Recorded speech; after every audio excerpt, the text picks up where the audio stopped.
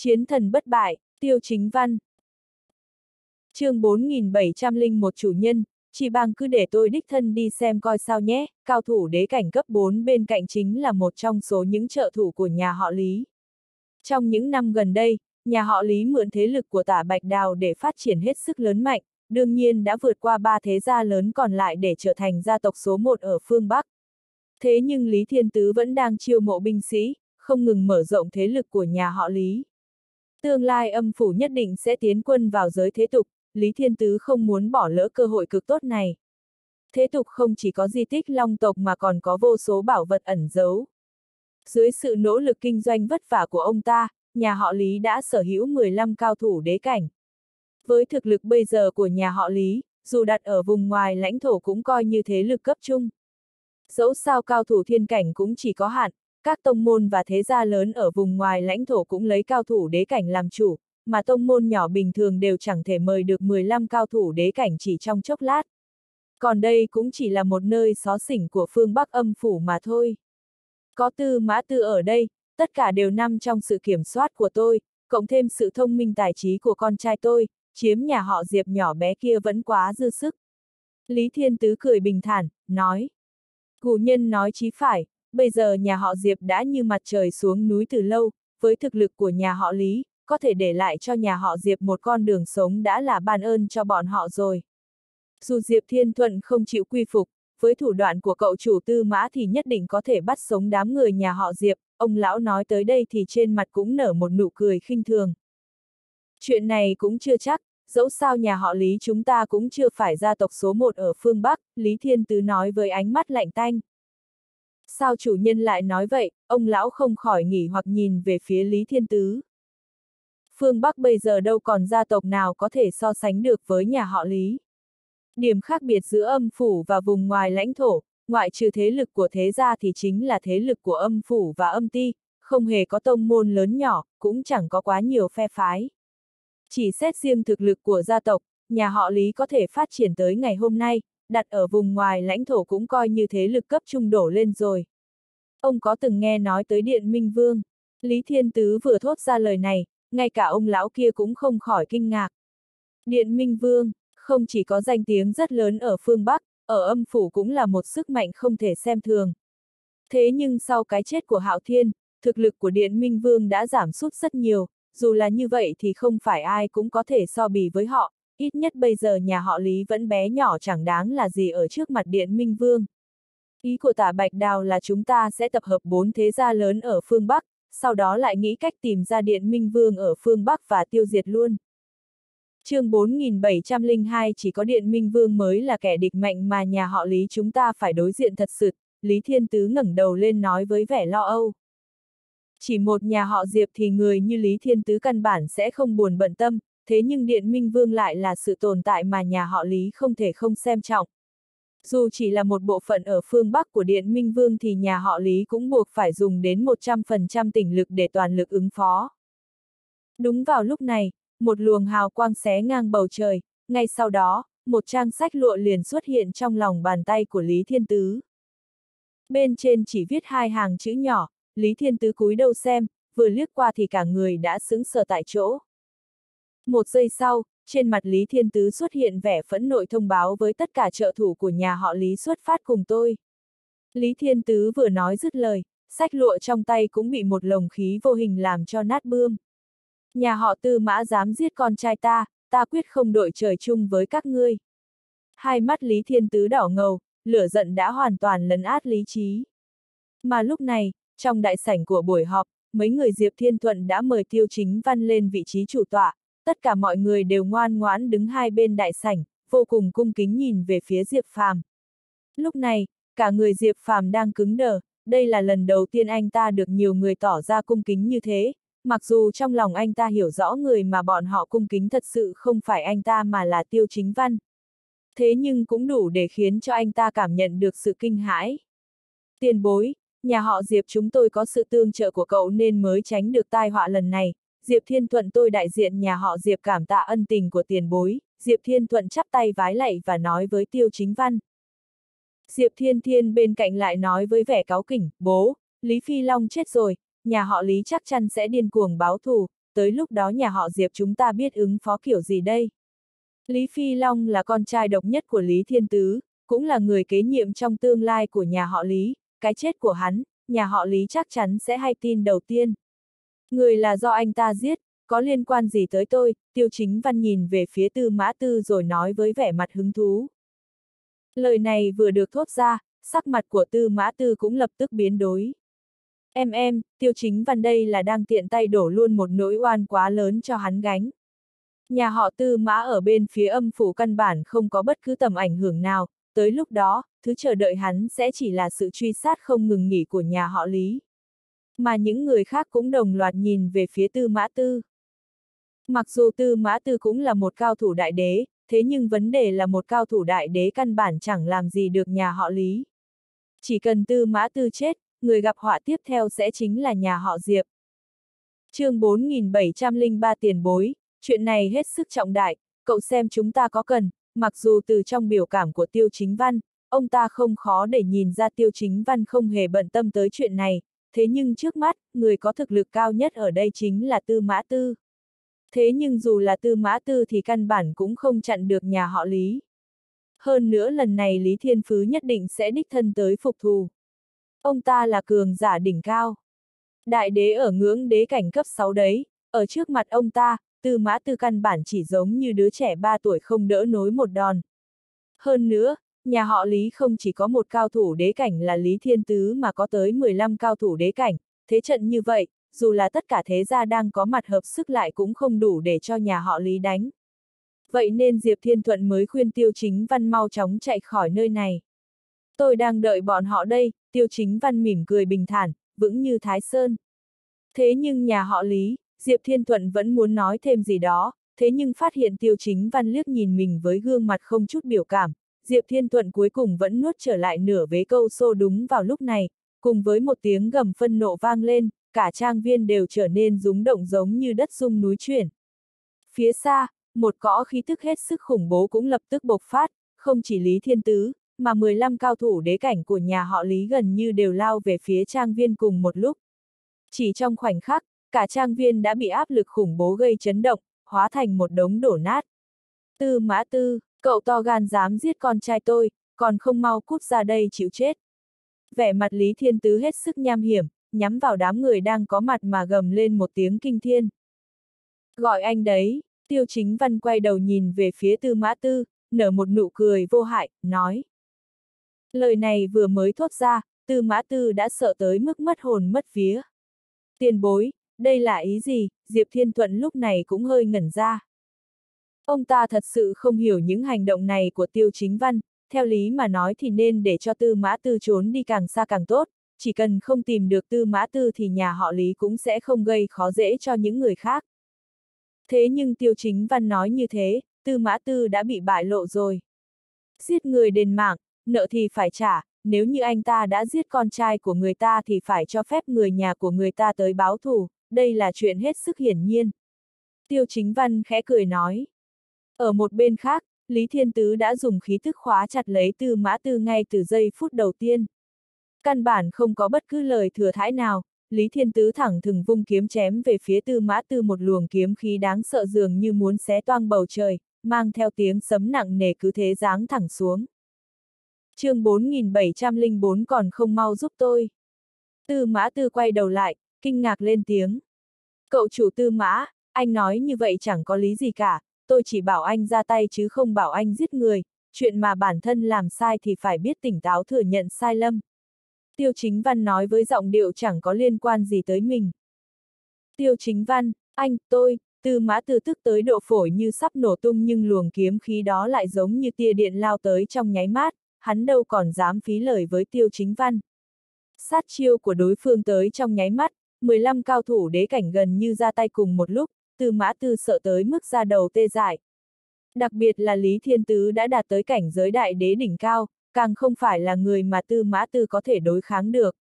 Mặc dù chỉ là cách biệt hai cảnh giới nhỏ mà thôi, thế nhưng mỗi một cảnh giới nhỏ của đế cảnh gần như đều có cách biệt hết sức rõ rệt. Lúc này, thanh kiếm dài trong tay tư mã tư lóe lên ánh sáng sắc lạnh, hắn gần như đã sử dụng hết tất cả những con át chủ bài của mình. Dẫu sao hắn cũng là con cháu của hoàng tộc, thủ đoạn và bản chất tuyệt đối không phải là thứ mà người bình thường có thể so bì. Một luồng kiếm khí giống như ngân hà rơi xuống. Hàng trăm hàng nghìn kiếm khí đan kết lại với nhau, ngay cả đám người đứng quan sát bên cạnh cũng bị khí lưu mạnh mẽ ép đến mức liên tiếp lùi ra sau.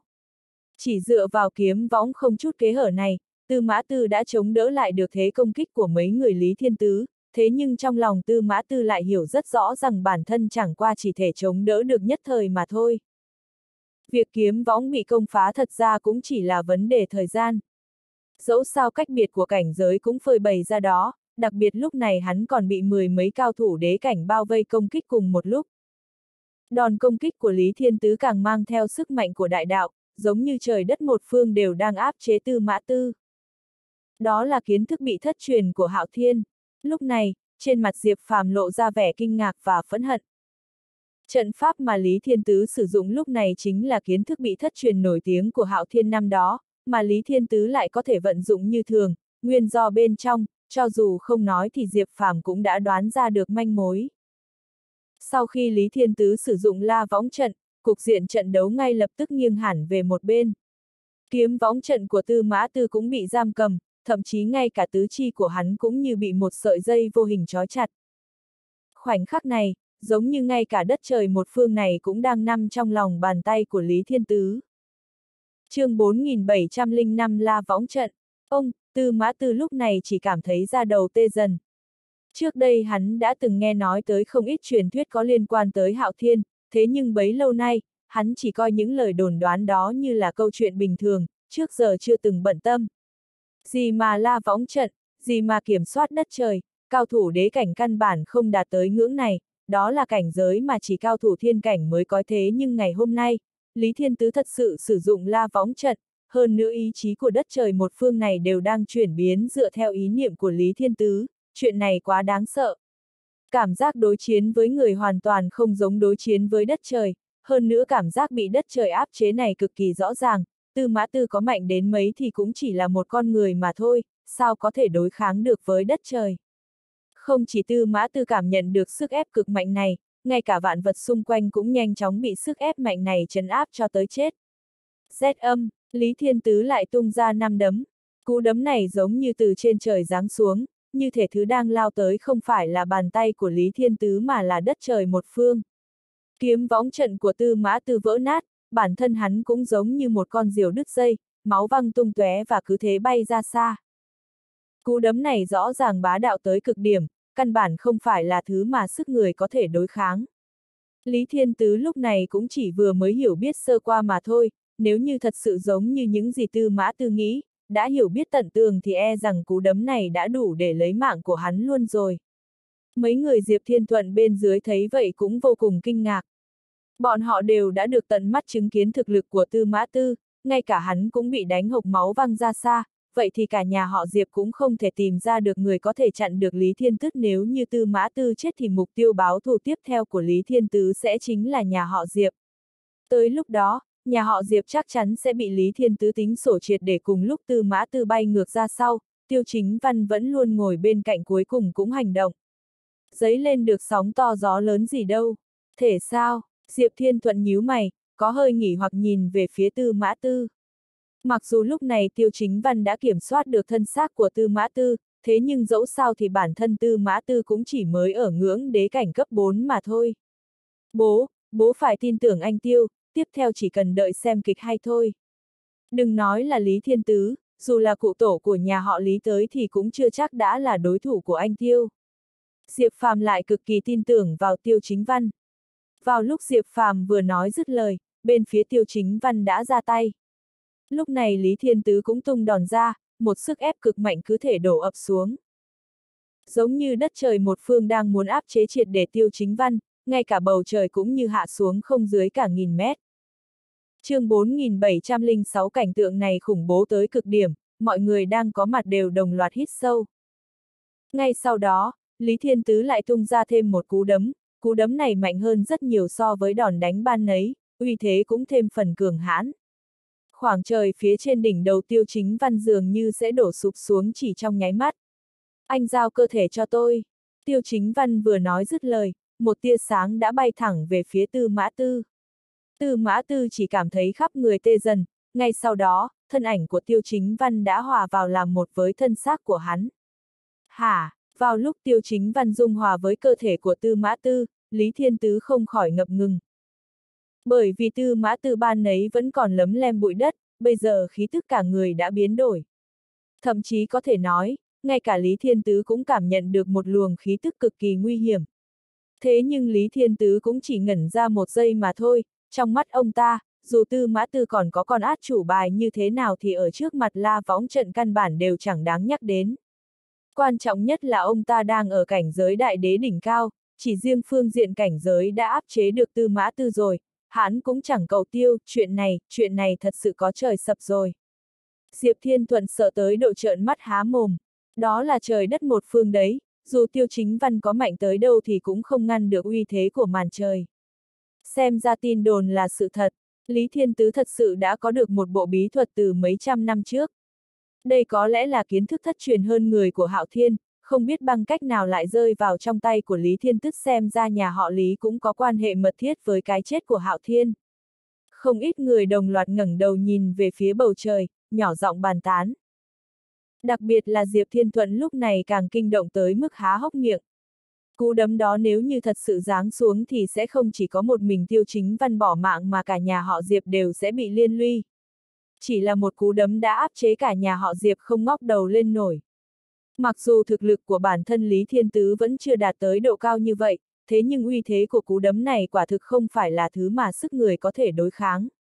Chỉ có điều, sau khi tiêu chính văn khống chế được cơ thể của tư mã tư thì khí tức cả người đều hoàn toàn khác. Tư mã tư giờ thoạt nhìn ca người càng thêm giản dị chất phác, thậm chí đã không còn bất cứ khác biệt gì so với người bình thường. Thế nhưng lại cho người ta một cảm giác hết sức khó lường. Sức kho mặc dù trời đất một phương rất có uy thế, vậy nhưng tiêu chính văn giờ lại giống như chiếc lá rụng bay lượn trong gió bão, phấp phới theo làn gió nhưng căn bản lại chẳng thể khiến cho tiêu chính văn bị thương dù chỉ một chút. Chiến thần bất bại, tiêu chính văn. chương 4707 đối diện với uy thế của cú đấm như trời long đất lở đó, tiêu chính văn cũng chỉ tùy ý vung ra một cú đấm.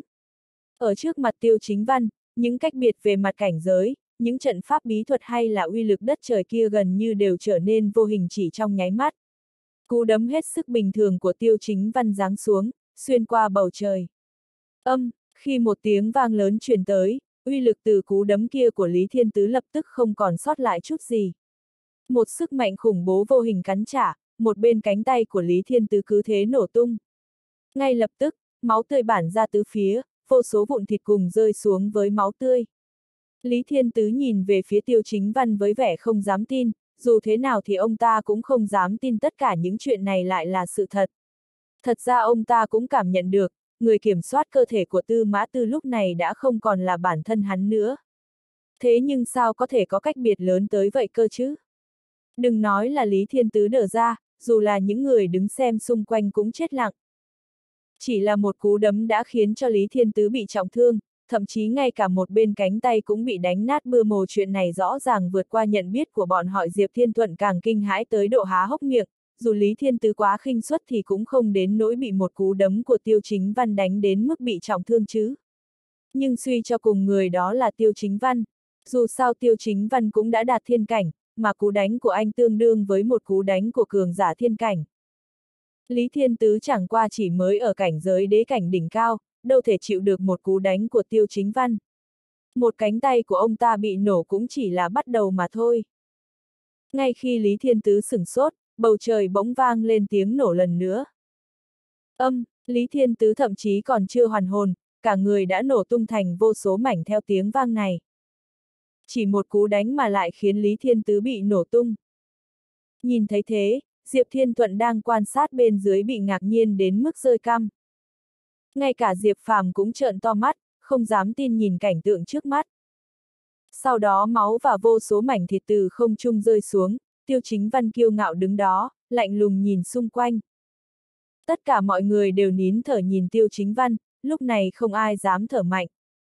Đó là Lý Thiên Tứ, cường giả cảnh giới đại đế đỉnh cao đấy, còn là người năm quyền của một trong bốn gia tộc lớn phía Bắc âm phủ cứ thế bị một cú đánh của tiêu chính văn đánh bại chương 4708 dù có nói ra cũng không ai dám tin mọi thứ đều là thật chứ đừng nói là mọi người ở đó. Mười mấy cao thủ cảnh giới đại đế đánh đến tận cửa với Lý Thiên Tứ cũng khiếp sợ đến mức hồn lìa khỏi xác, ngây người không biết làm gì. Không đợi họ hoàn hồn, tiêu chính văn giơ tay chỉ vào một điểm. Âm, một luồng sức mạnh nổ tung phía trước tiêu chính văn, sau đó mười mấy cao thủ cảnh giới đại đế đều bị nổ tung như Lý Thiên Tứ. Chỉ mong ngón tay khiến 15 cao thủ cảnh giới đại đế đều trở thành vũng máu. Ngay cả tư mã tư tận mắt nhìn thấy cảnh tượng này cũng lộ ra vẻ kinh sợ. Đồng thời tư mã tư cũng cảm thấy mình may mắn khi chưa làm gì chọc giận tiêu chính văn, nếu không bây giờ e là hẳn cũng đã bị nổ tung như vậy rồi. Cho dù thế nào hắn cũng không dám tin từ cuộc chiến tranh giành thánh huyết đế tuấn lần trước đến nay mới chỉ vài tháng ngắn ngủi mà tiêu chính văn đã mạnh đến mức này. Trong khi hắn còn đang ngơ ngác, một luồng sáng bắn ra từ trong người, tiêu chính văn lại đến gần Diệp Phàm rồi hợp làm một thể với anh A. Ông cụ nhà họ Diệp là Diệp Hồng Đồ cũng ngây ngốc nhìn cảnh tượng trước mắt. Bá đạo là gì? Đây mới là bá đạo thật sự. Tôi, Diệp Hồng Đồ xin chào tiền bối. Diệp Hồng Đồ chắp tay với Diệp Phàm. Hai bố con Diệp Thiên Thuận ở bên cạnh cũng chấp tay với Tiêu Chính Văn, hậu bối xin chào tiền bối. Mặc dù người trước mặt này vẫn còn con trai Diệp Phàm của Diệp Thiên Thuận, nhưng họ biết rõ hơn ai hết thần hồn trong người Diệp Phàm có thực lực đáng sợ. Nhất là uy lực chỉ tay vừa rồi quả thật khủng khiếp.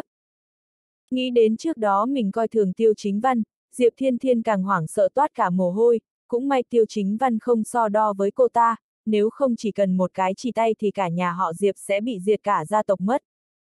Thảo nào Diệp Phàm lại tự tin như thế. Lúc này ánh mắt người nhà họ Diệp nhìn Diệp Phàm cũng trở thành cung kính hơn, không còn vẻ khinh thường như trước nữa.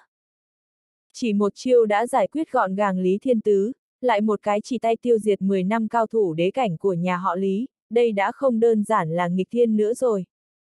Lúc này tất cả người nhà họ Diệp đều cực kỳ kính sợ tiêu chính văn. Các gia chủ của gia tộc xung quanh đều đứng lên quỳ dạp dưới đất, không ít người đều sợ đến mức run rẩy. Hôm nay họ đến để gây phiền phức cho nhà họ Diệp, nhưng không ngờ chuyện này lại có bước ngoặt lớn đến thế. Mọi người đều mơ hồ cảm thấy cả phía Bắc đều thay đổi. chương 4709 nhất là những người nắm quyền các gia tộc lớn đó càng biết rõ cuộc chiến hôm nay có ý nghĩa thế nào. Một ông lão tóc bạc bên cạnh hoảng sợ đến mức cả người run rẩy. Ông ta cũng là người nắm quyền nhà họ Trần tương đương một trong bốn gia tộc lớn. Bây giờ cũng có tu vi đế cảnh cấp 4, hơn nữa cả phương Bắc có tiếng là hung dữ. Nhắc đến danh hiệu Trần Quỷ Thủ, có mấy ai không biết. Nhưng ngay cả ông ta cũng toát mồ hôi lạnh với cảnh tượng đáng sợ trước mắt. Ánh mắt không khỏi hiện lên vẻ kính sợ và ghen tị với nhà họ Diệp.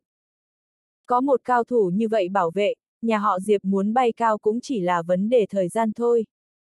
Chỉ cần vị cao nhân này có được thân xác thích hợp thì đừng nói là cả phía Bắc sẽ bị thu phục, thậm chí có khả năng trở thành thế lực lớn xưng bá một phương ở cả âm phủ kể từ sau tả bạch đào. Từ hôm nay phía Bắc chỉ có một mình tôi. Tiêu chính văn lạnh lùng nói. Tiêu chính văn lạnh lùng nhìn mọi người, mọi người đều cúi đầu xuống. Ai còn dám nghỉ ngờ dù chỉ một chút chứ? Bọn tôi sẵn lòng nghe theo lệnh của tiền bối, làm theo tiền bối. Mọi người đều đồng thanh nói. Ngay cả mấy người Diệp Thiên Thuận cũng đều quỳ xuống đất. Giữa các gia tộc ở phía Bắc âm phủ đã tranh đấu không ngừng hàng ngàn năm nhưng chưa từng có ai có thể thống nhất các gia tộc phía Bắc. Nhưng ai ngờ được nhà họ Diệp thế mà lại nổi lên, chỉ trong tích tắc đã trở thành con chim đầu đàn phía Bắc. Lúc này rất nhiều người đều thầm cảm thán tiên bối, nhà họ Trần tôi đã chuẩn bị tiệc ở quán rượu phía nam thành phố, mong tiền bối có thể đến tham dự.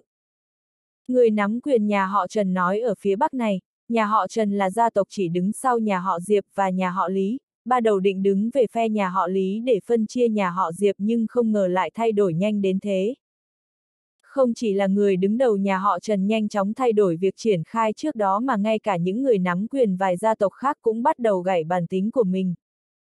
Thậm chí càng có người nhìn Diệp Phàm với ánh mắt sáng rực. Dù sao bây giờ Diệp Phàm chưa cưới vợ, nếu có thể kết thông ra với nhà họ Diệp thì gia tộc mình cũng có thể leo lên chiếc thuyền lớn nhà họ Diệp.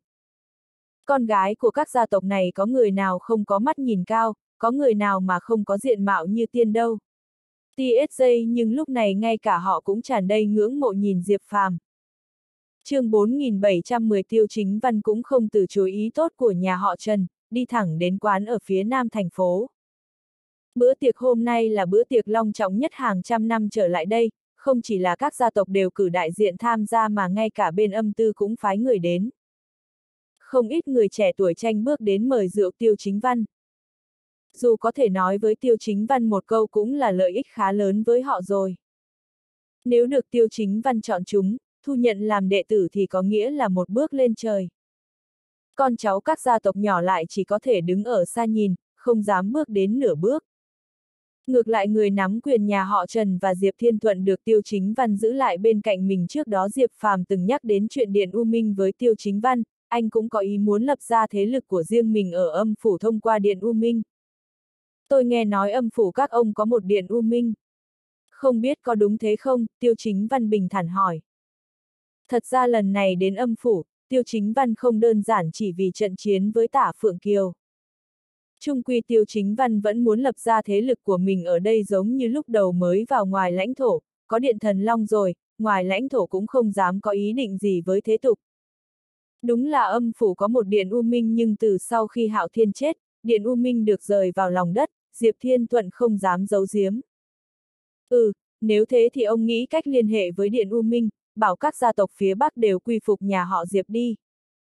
Tiêu chính văn thản nhiên nói. Vừa nghe anh nói thế, ngay cả Diệp Hồng Đồ cũng sửng sốt. Dù sao vừa rồi chính Tiêu Chính Văn cũng đã nói, cả phía Bắc chỉ có mình tôi. Nhưng không ngờ Tiêu Chính Văn sẽ thu nạp tất cả gia tộc lại.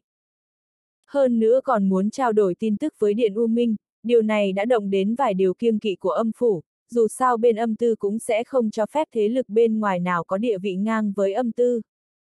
Mặc dù bây giờ Điện U Minh đã không còn huy hoàng như trước nhưng uy lực sót lại vẫn còn, hơn nữa phía Bắc còn có một phần của Điện U Minh. Người nam quyền Điện U Minh còn là một cao thủ cảnh giới đế quân. Tiền bối, bảo tất cả gia tộc đều quy phục nhà họ Diệp E là không ổn lắm, dù sao không ít gia tộc đều là cấp dưới của Điện U Minh, nếu thu nhận như thế có khiến Điện U Minh bất mãn không? Diệp Thiên Thuận lo lắng nói. Nếu ông đã nói thế thì cũng không phải không thể cho họ một bậc thang bước xuống, ông đi mời đại diện của họ, nói là hai bên chúng ta có thể hợp sức hơn nữa năm đó Hạo Thiên chết không rõ ràng, chúng ta có thể giúp anh ta trả mối thù này. Tiêu Chính Văn lại nói. Thật ra trước đó Tiêu Chính Văn đã bàn bạc với Diệp Phàm mượn thế lực của nhà họ Diệp để trộm thi thể Hạo Thiên từ huyết ô chỉ ra, Tiêu Chính Văn sẽ mượn thân thể của anh ta chương 4711 như thế dù hợp tác với Điện U Minh cũng không quá. Thế nên Tiêu Chính Văn cũng không muốn làm quá về chuyện Điện U Minh, chỉ cần Điện U Minh chịu nhường bước thì Tiêu Chính Văn cũng sẽ không phải dùng đến thủ đoạn cứng rắn với họ. Bọn tôi hiểu ý của tiền bối rồi, xin tiền bối yên tâm, nhà họ Diệp tôi sẽ bảo người liên hệ với Điện U Minh, Diệp Thiên Thuận và Diệp Thiên Thiên chắp tay với Tiêu Chính Văn, sau đó nhanh chân rời đi. Thật ra chuyện này rất có lợi với nhà họ Diệp, chỉ cần thành công hợp tác với Điện U Minh thì nhà họ Diệp là người được lợi trực tiếp. Có Điện U Minh trợ sức, dù sau này tiêu chính văn quay về vùng ngoài lãnh thổ, nhà họ Diệp cũng có một chỗ dựa lớn mạnh. Ở phía Bắc âm phủ đã có người bắt đầu hành động. Dù sao trận chiến giữa Tiêu Chính Văn và Lý Thiên Tứ có sức ảnh hưởng quá lớn, thậm chí các gia tộc ở cả phía Bắc đều quan tâm đến chuyện này. Lúc này ở một thị trấn nhỏ phía cực Bắc, một ông lão đang thưởng thức trà trong sân nhà mình, đột nhiên có mười mấy cao thủ đế cảnh tìm gặp. Ông lão nhíu mày, xảy ra chuyện gì? Lẽ nào nhà họ Lý tiêu diệt nhà họ Diệp rồi? Đừng thấy ông lão ăn mặc đơn giản, mộc mạc mà lầm, ai ở phía Bắc cũng đều cung kính khi gặp ông ta. Cho dù là nhà họ Lý hay nhà họ Diệp cũng chỉ là gia tộc lớn ở bề ngoài thôi, không có thực lực và nền tảng. Mà cả phía Bắc lại tôn kính gọi ông lão một tiếng Trấn Bắc Phương không, Trấn Bắc Phương, cao thủ đế cảnh chúng tôi phái đến nhà họ Lý đều đã chết, một cao thủ đế cảnh trong đó đáp. Gì cơ, Trấn Bắc Phương nhướng mày, ánh me hiện lên vẻ ngờ vực, chẳng phải tả Bạch Đào đã đồng ý cho nhà họ Lý thống nhất phía Bắc sau khi tiêu diệt nhà họ Diệp sao? Lẽ nào xảy ra chuyện ngoài ý muốn? Đúng thế, hình như là một cao thủ đến từ vùng ngoài lãnh thổ, làm loạn kế hoạch trước đó của chúng ta, nhà họ Diệp không những không bị tiêu diệt mà ngược lại có thế lực ngày càng lớn một cao thủ đế cảnh khác nói. Là người nhà họ tư mã, Trần Bắc Phương lạnh lùng hỏi. Không, không phải nhà họ tư mã, bây giờ vẫn chưa điều tra thân phận của người này nhưng chúng tôi đã bảo người đi điều tra rồi, cao thủ đế cảnh đó nhíu mày đáp. Ồ hai nói thế tức là người vùng ngoài lãnh thổ muốn nhúng tay vào việc của âm phủ. Hừ, không ngờ dã tâm của vùng ngoài lãnh thổ đã đến mức này rồi Trấn Bắc Phương cười nhạo, ánh mắt hiện lên vẻ khinh thường. Rất có thể đối phương muốn thống nhất phía Bắc, chúng ta có cần, không vội, trước tiên cứ quan sát rồi nói, nếu hắn làm quá thì cứ giết là được, nói rồi Trấn Bắc Phương lại bưng tách trà lên nhấp một hớp. Trấn Bắc Phương vừa dứt lời, hai bố con Diệp Thiên Thuận và Diệp Thiên Thiên đẩy cửa bước vào. Hậu bối chào Trấn Bắc Phương. Diệp Thiên Thuận nói, chắp tay với trần Bắc Phương. trần Bắc Phương nhìn bố con Diệp Thiên Thuận, hơi khinh thường nói, con cháu nhà họ Diệp. Có việc gì nói đi, chỉ cần là việc Điện U Minh có thể giúp, mọi chuyện đều có thể bàn bạc chương 4712 nếu không phải vừa nhận được tin báo kế hoạch nhà họ Lý Thu nhà họ Diệp vào tay xảy ra vấn đề, thậm chí trần Bắc Phương còn không thèm nói chuyện với Diệp Thiên Thuận. Tiền bối, chúng tôi nghe theo lệnh của cậu tiêu ở vùng ngoài lãnh thổ đến đây mời tiền bối hợp sức, nên, hười người vùng ngoài lãnh thổ muốn hợp tác với tôi ư. Cậu không nói đùa đấy chứ, Trần Bắc Phương cười khẩy, ngắt lời Diệp Thiên Thuận. Tiền bối, đúng là cậu tiêu có ý muốn hợp tác với Điện U Minh nên mới cố ý bảo bọn tôi đến đây, Diệp Thiên Thuận cung kính nói. Hừ, có phải cậu đang đùa giốn tôi không thế, Trần Bắc Phương chế diêu nhìn Diệp Thiên Thuận. Tiền bối, không biết có gì không ổn. Hơn nữa cậu tiêu cũng mời với lòng chân thành, mong tiền bối, láo xược.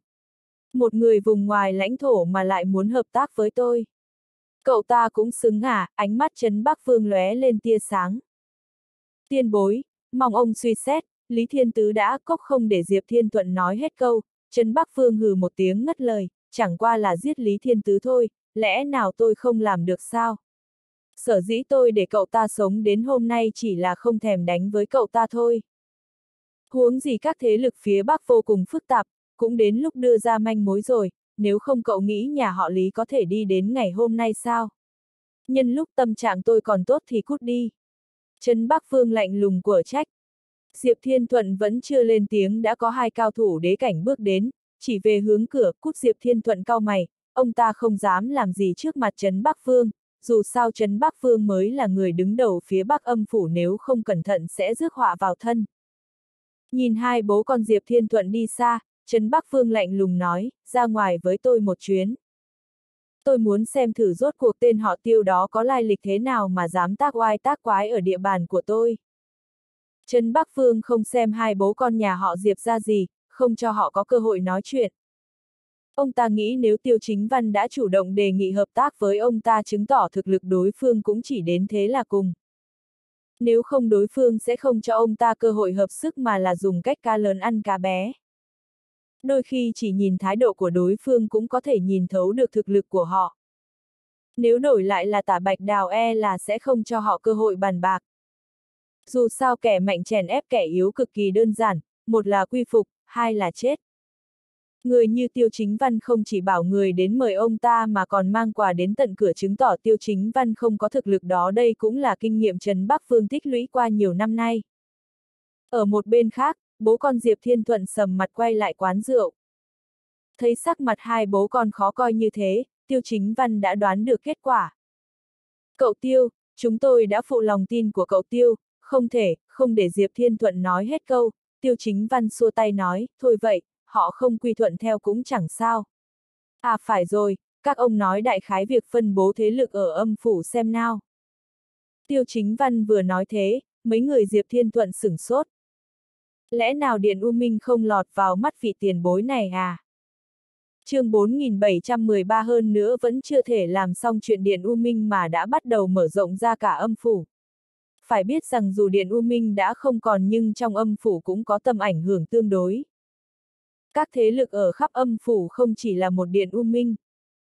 Lẽ nào từ lúc đầu tiêu chính văn đã muốn đến chinh phục cả âm phủ? Cũng quá điên cồng rồi nhỉ? Mặc dù cảm thấy khá khó hiểu nhưng Diệp Thiên Thuận vẫn nói lại tình hình hiện giờ của âm phủ cho Tiêu Chính Văn. Hiện giờ âm phủ được chia thành mấy khu vực lớn, bên Hoa Quốc là do âm tư canh giữ, còn bên Vi Hào đã bị người của âm tư năm quyền vào hơn 2.000 năm trước. Bên Âu Lục vẫn luôn do Minh Hà và Minh Vương Hades cùng quản lý. Còn địa ngục trong truyền thuyết thế gian là một thế lực độc lập, thực lực tương đương với âm tư. Giữa Minh Hà và âm phủ đã có mấy ngàn năm chưa liên hệ với nhau, có thể nói hai bên nước sông không phạm nước giếng.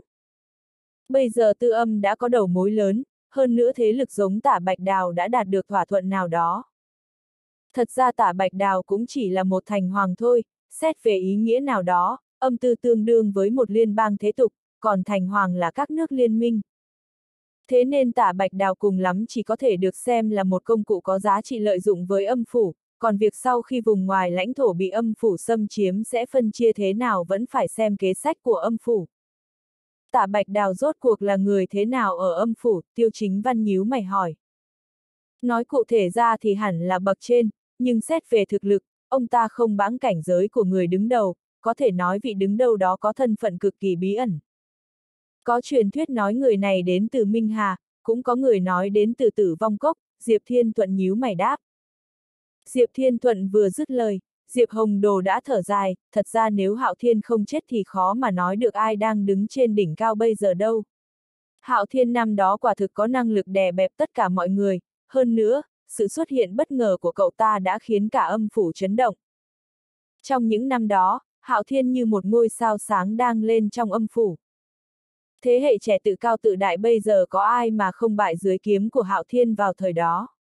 Nếu là như vậy thật thì tại sao nhà họ Diệp lại trở thành chó sai của âm tư? Đúng lúc này, một giọng nói lạnh lùng truyền đến. Vừa dứt lời, một ông lão được bao quanh bởi một đám cao thủ đế cảnh, bước vào nhà hàng nhìn từ xa, ông lão này chẳng có gì đặc biệt, và lại cũng chẳng có khí tức đáng sợ của cường giả. Nhưng mười mấy vị cao thủ đế cảnh đứng sau ông ta cũng đủ cho thấy thực lực và địa vị của ông lão này. Hơn nữa, ông lão càng tỏ ra bình thường thì chứng tỏ thực lực lại càng đáng sợ. Nhìn thấy ông lão này, rất nhiều người trong quán rượu tỏ ra kinh ngạc, cũng không khó để nhìn ra sự sợ hãi trong me họ. chương 4714 thanh kiếm thất tinh phía trên lưng ông lão cũng khiến mọi người phải há hốc mồm. Sắc mặt của mấy người nhà họ Diệp cũng trở nên khó coi. Trấn Bắc Phương đích thân đến đây sao? Vãn bối bái kiến Trấn Bắc Phương. Mọi người chắp tay chào ông lão. Trấn Bắc Phương không hề để ý đến đám người trước mặt, ánh me nhìn thẳng vào Diệp Phàm đang ngồi trên ghế chính, sau đó lại nhìn Trần Quỷ Thủ. Tôi đã ở ẩn nhiều năm, không ngờ ngay cả một tên nhãi vô danh như cậu cũng dám gây chuyện sóng gió. Chỉ một câu nói đã khiến Trần Quỷ Thủ sợ toát mồ hôi hột. Suy cho cùng, người có tên, cây có bóng, Trấn Bắc Phương quả thực đã ở ẩn trăm năm, nhưng cả phương bạc này có ai mà không cung kính khi nhắc đến ba chữ Trấn Bắc Phương. Có một số người dù không xuất hiện cả ngàn năm, nhưng chỉ cần trở lại thì cũng đủ để dân đầu một thời đại. Ông lão vừa dứt lời, mọi người cũng lộ ra vẻ sợ hãi. Lúc Hạo Thiên còn sống đã giao toàn bộ phương Bắc cho người này, mượn thêm cả sức mạnh của Điện U Minh, đủ để chống lại âm tư ngang vai ngang vế hiện tại. Nhưng những ai đã thật sự trải qua trận mưa gió đâm máu đó đều biết rằng năm đó Điện U Minh vừa mới mọc lên, sao phương Bắc có thể vì một câu của ông ta mà đầu hàng được. Chính vị Trấn Bắc Phương này đã tiêu diệt toàn bộ phương Bắc chỉ bằng một người một kiếm. Khi Điện U Minh như mặt trời giữa trưa, ngay cá trưởng quản phương Bắc như âm tư cũng phải nể mặt vài phần. Người trong thế gia lớn đương nhiên không còn xa lạ gì với những nhân vật này, hơn nữa cảnh tượng đâm máu hồi đó vẫn còn mới như ngày hôm qua. Trong chớp mắt, không ít người đã rơi vào tình thế tiến thoái lưỡng nan. Một bên là Diệp Phàm, tân binh mới của nhà họ Diệp, một bên là Trấn Bắc Phương uy danh lẫm liệt, bọn họ bị bắt vào giữa, vô cùng khó xử. Sau khi Hạo Thiên chết, tôi còn tưởng nhà họ Diệp các người có thể kế thừa ý chí của Hạo Thiên, quản lý phương Bắc, nhưng không ngờ nhà họ Diệp các người lại vô dụng đến vậy. Không chỉ vô dụng mà còn ngu ngốc, giọng của Trấn Bách Vương vang lên như chuông, vang vọng khắp nhà hàng, nhưng không ai dám phản bác nửa câu. Đây chỉ là vài câu dạy dỗ, nhưng cũng đủ để thấy địa vị của Trấn Bắc Phương trong lòng mọi người. Ông ta đang dạy dỗ nhà họ Diệp. Ngay cả Lý Thiên Tứ trong thời kỳ đỉnh cao cũng không dám sỉ nhục nhà họ Diệp trước mặt mọi người. Xin phép tiền bối cho tôi nói vài lời. Diệp Hồng Đồ nói xong, nhậm rãi đứng dậy, chắp tay nói với Trấn Bắc Phương, tiểu bối đương nhiên không dám so sánh với ông, nhưng từ khi Hạo Thiên qua đời, nhà họ Diệp chúng tôi cũng ngày một suy tàn. Chỉ có thể dựa vào uy danh trước đó để ra sức trèo trống. Kỳ thật, chẳng còn sức để nám giữ Phương Bách nữa. Mà vừa rồi, nhà họ Lý còn cấu kết với tả Bạch Đào, thôn tính nhà họ Diệp chúng tôi. Hơn nữa, ngay cả tôi cũng suýt mặc mưu, càng không nói đến đám đệ tử của nhà họ Diệp. Tiền bối cũng đã nói nhà họ Diệp tôi có mối quan hệ chặt chẽ với Điện U Minh, vậy không biết tiền bối đã từng giúp nhà họ Diệp tôi chưa? Trần Bắc Phương chưa kịp mở miệng, Diệp Hồng Đồ đã chỉ vào Diệp Phàm, nói tiếp, còn nữa, tiền bối có biết tại sao tả Bạch Đào lại muốn tiêu diệt nhà họ Diệp tôi không? chương 4715 chính là bởi vì cháu trai của tôi là Diệp Phàm năm nào cũng đến huyết ô chỉ để thờ bái hạo thiên. Nói cách khác, kiếp nạn mà chúng tôi phải chịu đến từ Điện U Minh. Nhưng lúc nhà họ Diệp gặp đại nạn, tiền bối đang ở đâu? Mặc dù Diệp Hồng Đồ đang đối đáp với Trần Bắc Phương rất lịch sự, nhưng câu nào cũng mang theo giọng điệu chất vấn Trần Bắc Phương. Mỗi lời nói của ông ta không chỉ bùng nổ đại sảnh, mà còn nổ tung trong lòng tất cả mọi người. Nếu không phải tiêu chính văn ra tay thì bây giờ còn nhà họ Diệp sao?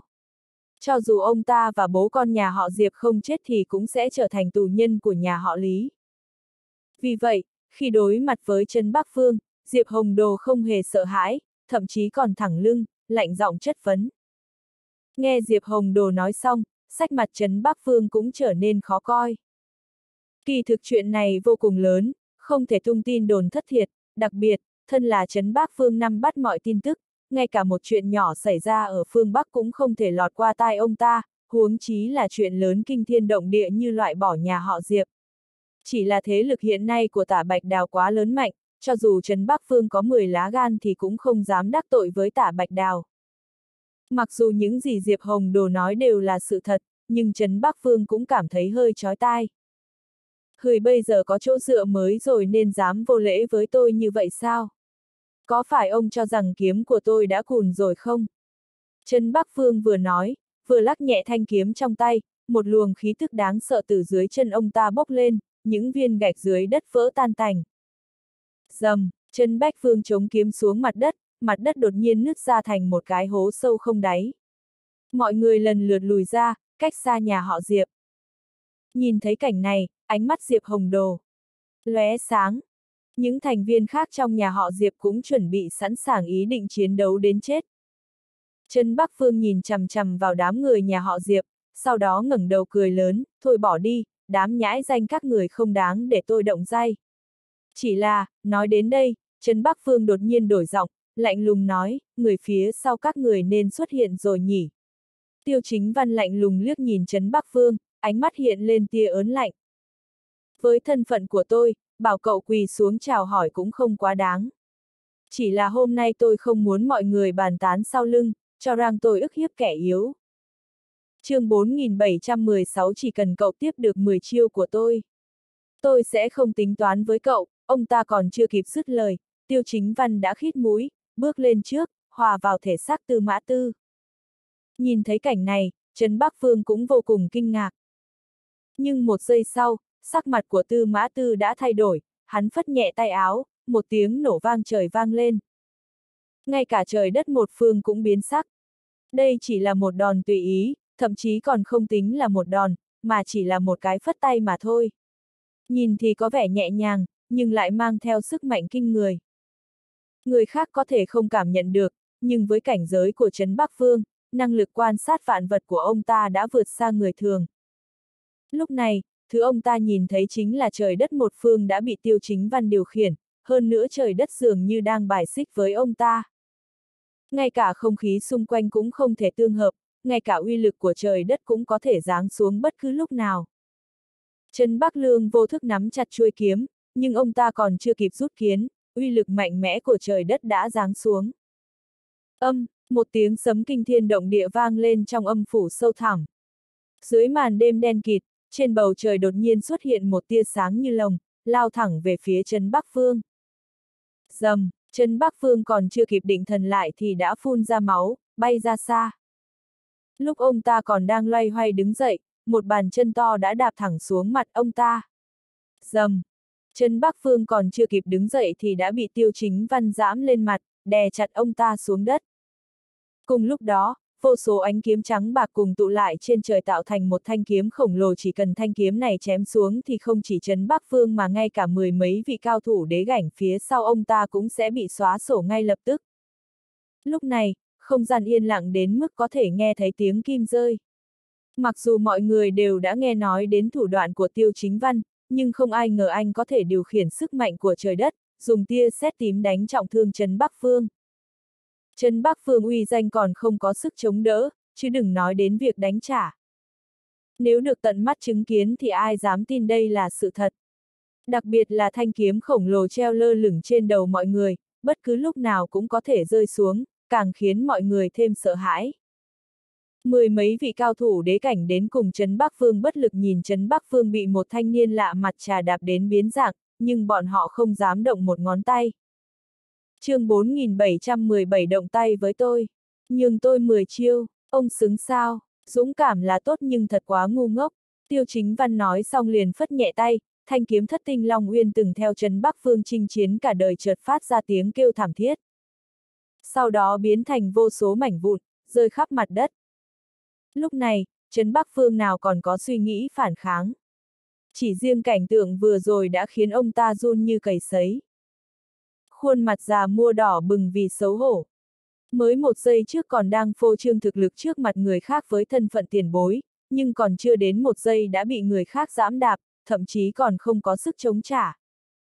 Ngay cả thần binh kiếm thất tinh Long Uyên trong tay ông ta cũng bị người ta phá hủy. Đám người nhà họ Diệp lúc này sợ hãi đến ngây người. Tiêu chính văn đã đánh chết cao thủ đại đế đỉnh cao chỉ bằng một trường, bây giờ chỉ cần vung tay đã có thể giẫm đạp cao thủ đế quân như Trấn Bắc Phương. Đây là chưa kể đến việc bây giờ tiêu chính văn vẫn chưa dốc hết sức lực. Trận chiến này trong mắt bọn họ đã là một trận chiến lớn, nhưng đối với tiêu chính văn, đây chẳng khác gì trò trẻ con cả. Đó là Trấn Bắc Phương từng bất khả chiến bại ở phương Bắc. Không chỉ đám người nhà họ Diệp đều kinh ngạc, ngay cả Trần Quỷ Thủ cũng sợ tới mức quỳ xuống đất. Thật đáng sợ thật độc đoán, quan trọng nhất là tiêu chính văn vẫn rất bình tĩnh. Nếu là người khác, ai có thể lịch sự với kẻ thù như vậy? Nhưng tiêu chính văn đã làm thế nào? Đầu tiên, tiêu chính văn cử người nhà họ Diệp đến tận nơi để mời, thậm chí người nhà họ Diệp bị đuổi về, tiêu chính văn cũng không tức giận. Ngược lại, Trần Bắc Phương cậy già lên mặt, không biết điều, chủ động tìm đến cửa còn ra oai bắt người khác quỳ xuống. Lúc người ta nể mặt ông thì phải biết điều. Hơn nữa, vì nể tình nhà họ Diệp và Hạo Thiên nên ông mới có chút thể diện thôi. Nếu không, ông còn không đủ tư cách nói chuyện. Tiêu chính văn nói xong liền chậm rãi nhấc chân lên, không thèm liếc nhìn gương mặt biến dạng của Trấn Bắc Phương, mà đá ông ta ra cửa như đá rác. Nếu trước đó Tiêu Chính Văn nói với ông ta những lời này thì ông ta sẽ chỉ thấy khó chịu và nổi giận. Nhưng bây giờ, ông ta còn không dám hé răng nửa lời. Thực lực của người trước mặt quá đáng sợ. Đừng nói là ông ta, mà ngay cả Hạo Thiên ở thời kỳ Hoàng Kim cũng không thể sánh bằng. Trần Bắc Phương chật vật bò dậy từ mặt đất, quỳ xuống trước mặt Tiêu Chính Văn, dập đầu nói, tôi có mắt như mù, xin tiền bối thứ lôi. chương 4718 dù ở vùng ngoài lãnh thổ hay âm phủ, thực lực mới là thứ quyết định mọi thứ. Thân phận, thể diện gì đó đều không thể băng thực lực. Trần Bắc Thần cũng vậy, ông ta biết nếu hôm nay không cúi đầu trước tiêu chính văn thì lần sau, ông ta sẽ không còn may mắn chỉ bị tiêu chính văn giãm vào mặt ở trước mặt mọi người nữa. Đời người đâu đâu cũng là ngã tư, đôi lúc, một khi đã đưa ra lựa chọn sai lầm thì sẽ không thể quay đầu được nữa. Tiêu chính văn chế nhạo. Nghe vậy, Trần Bách Vương sợ tới mức mồ hôi chảy như mưa, không ngừng cầu xin lòng thương xót. Lúc này, tất cả mọi người có mặt đều đã biết vị đại thần trước mặt này đáng sợ như thế nào. Hạo Thiên lúc trước sao có thể sánh được với nhân vật này. Cho dù Hạo Thiên chưa chết thì hôm nay cũng phải quỳ phục trước nhân vật lớn này. Mãi đến khi bữa tiệc kết thúc, Trần Bắc Phương vẫn ngoan ngoãn quỳ ở cửa quán rượu, không có sự cho phép của Tiêu Chính Văn, ông ta không dám đứng dậy. Lúc này, Trần Bắc Phương không hề oán hận Tiêu Chính Văn, mà thầm oán hận Diệp Thiên Thuận. Trước đó ông ta đã chính tai nghe thấy đám người bên cạnh đang bàn luận về chuyện một cái tát của tiêu chính văn đã biến Lý Thiên Tứ thành xương máu. Nếu lúc Diệp Thiên Thuận đến, nói tin tức này với ông ta thì ông ta đâu còn dám khiêu khích bọn họ. Nếu ông ta không khiêu khích thì sao phải chịu sự sỉ nhục như ngày hôm nay? Tất cả chuyện này đều là do hai bố con Diệp Thiên Thuận. Với sức chiến đấu của ông ta, cũng có khả năng giết Lý Thiên Tứ, nhưng một cái tát đã có thể biến đối phương thành xương máu thì ông ta không dám nghĩ. Mãi cho đến khi bữa tiệc kết thúc, người nhà họ Diệp mới cùng Tiêu Chính Văn đi về phía huyết ô trì. Ngay cả Trấn Bạc Vương cũng đi theo sau Tiêu Chính Văn giống như một tên thuộc hạ. Huyết ô trì cũng được coi là một khu vực lớn trong âm phủ. Nơi đây từng được dùng để nhốt những linh hồn ngang ngược không chịu khuất phục. Nhưng sau khi âm tư và thập điện âm phủ mỗi người một ngả, nơi đây cũng chỉ để trưng bày. Mặc dù như vậy, nhưng khí huyết sát trong huyết ô chỉ vẫn vô cùng đáng sợ, cao thủ dưới cảnh giới nhân hoàng chỉ cần đến gần huyết ô chỉ cũng sẽ biến thành xương máu. Nhưng có Trấn Bắc Phương và người nhà họ Diệp ở đây thì muốn tránh khí huyết sát cũng không có gì là khó. Mọi người bước đến trước huyết ô trì, nhìn từ xa, cả huyết ô chỉ sâu như biển cả, nhìn không thấy biên giới. Trong biển máu đỏ chót có một xác chết trôi nổi. Đó là xác của Hạo Thiên. Diệp Phàm chỉ tay, kích động nói. Ừ, trước đây anh ta đã đạt đến cảnh giới nào? Tiêu chính văn liếc nhìn huyết ô chỉ rồi quay đầu hỏi. Hạo Thiên là đế cảnh cấp 9, còn tả Phượng Kiều lúc đó đã bước đầu tiến vào thiên cảnh rồi. Trấn Bắc Phương cung kính đáp. chương 4719 bước đầu tiến vào thiên cảnh. Tiêu chính văn khế cao mày. Từ vết thương trên cơ thể Hạo Thiên có thể thấy, người giết anh ta không phải là cao thủ vừa đột phá thiên cảnh, mà là cao thủ thiên cảnh cấp một đỉnh cao.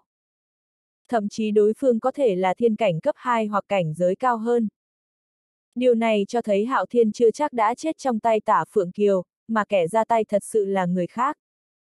Lúc mọi người đang nói, xác của Hạo Thiên đã được vớt khỏi huyết ô trì. Tiêu chính văn xem xét cái xác. Mặc dù đã qua chấm năm, nhưng cái xác được bảo quản rất tốt, ngoại trừ khuôn mặt chẳng bệch ra thì không khác gì người sống. Sao trên người anh ta lại có sợi tơ đen? Tiêu chính văn cau mày hỏi.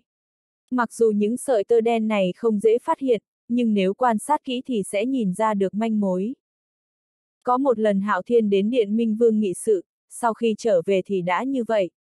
Diệp Phàm đáp, Điện U Minh là một nhánh lớn của Điện Minh Vương, nằm giữ phương Bách, nói cách khác, Hạo Thiên là người sáng lập Điện U Minh, cũng là thành viên của Điện Minh Vương. Ồ, Điện Minh Vương, Tiêu Chính Văn nghỉ ngờ hỏi. Anh đã từng thấy sợi tơ đen này ở Minh Hà. Lẽ nào giữa Điện Minh Vương và Minh Hà có mối quan hệ mật thiết nào đó? Sau khi do dự một lúc, Tiêu Chính Văn cuối cùng cũng quyết định sử dụng xác của Hạo Thiên. Mặc dù cho đến nay, Tiêu Chính Văn vẫn không biết sợi tơ đen này là thứ gì, nhưng đối với anh, cơ thể của Hạo Thiên là lựa chọn tốt nhất để điều tra. Đúng lúc này, Diệp Hồng Đồ bước lên phía trước, lấy ra một viên đan dược đen bóng đưa đến trước mặt Tiêu Chính Văn, tiền bối, đây là dưỡng hồn đan, chỉ có cách uống viên đan dược này mới có thể dung, hợp thân xác và linh hồn. Dưỡng hồn đan, Tiêu Chính Văn liếc nhìn Diệp Hồng Đồ, trầm giọng hỏi. Cậu Tiêu, âm phủ chúng tôi cũng phân chia sống chết, cho dù linh hồn muốn nhập vào thể xác ở âm phủ thì cũng cần phải có phương tiện, nếu không sẽ xảy ra chuyện lớn. Diệp Hồng Đồ vội vàng giải thích. Tiêu chính văn đưa tay nhận viên đan dược, cho vào miệng. Ngay sau đó cơ thể của Hạo Thiên chuyển động, lơ lửng trên không trung.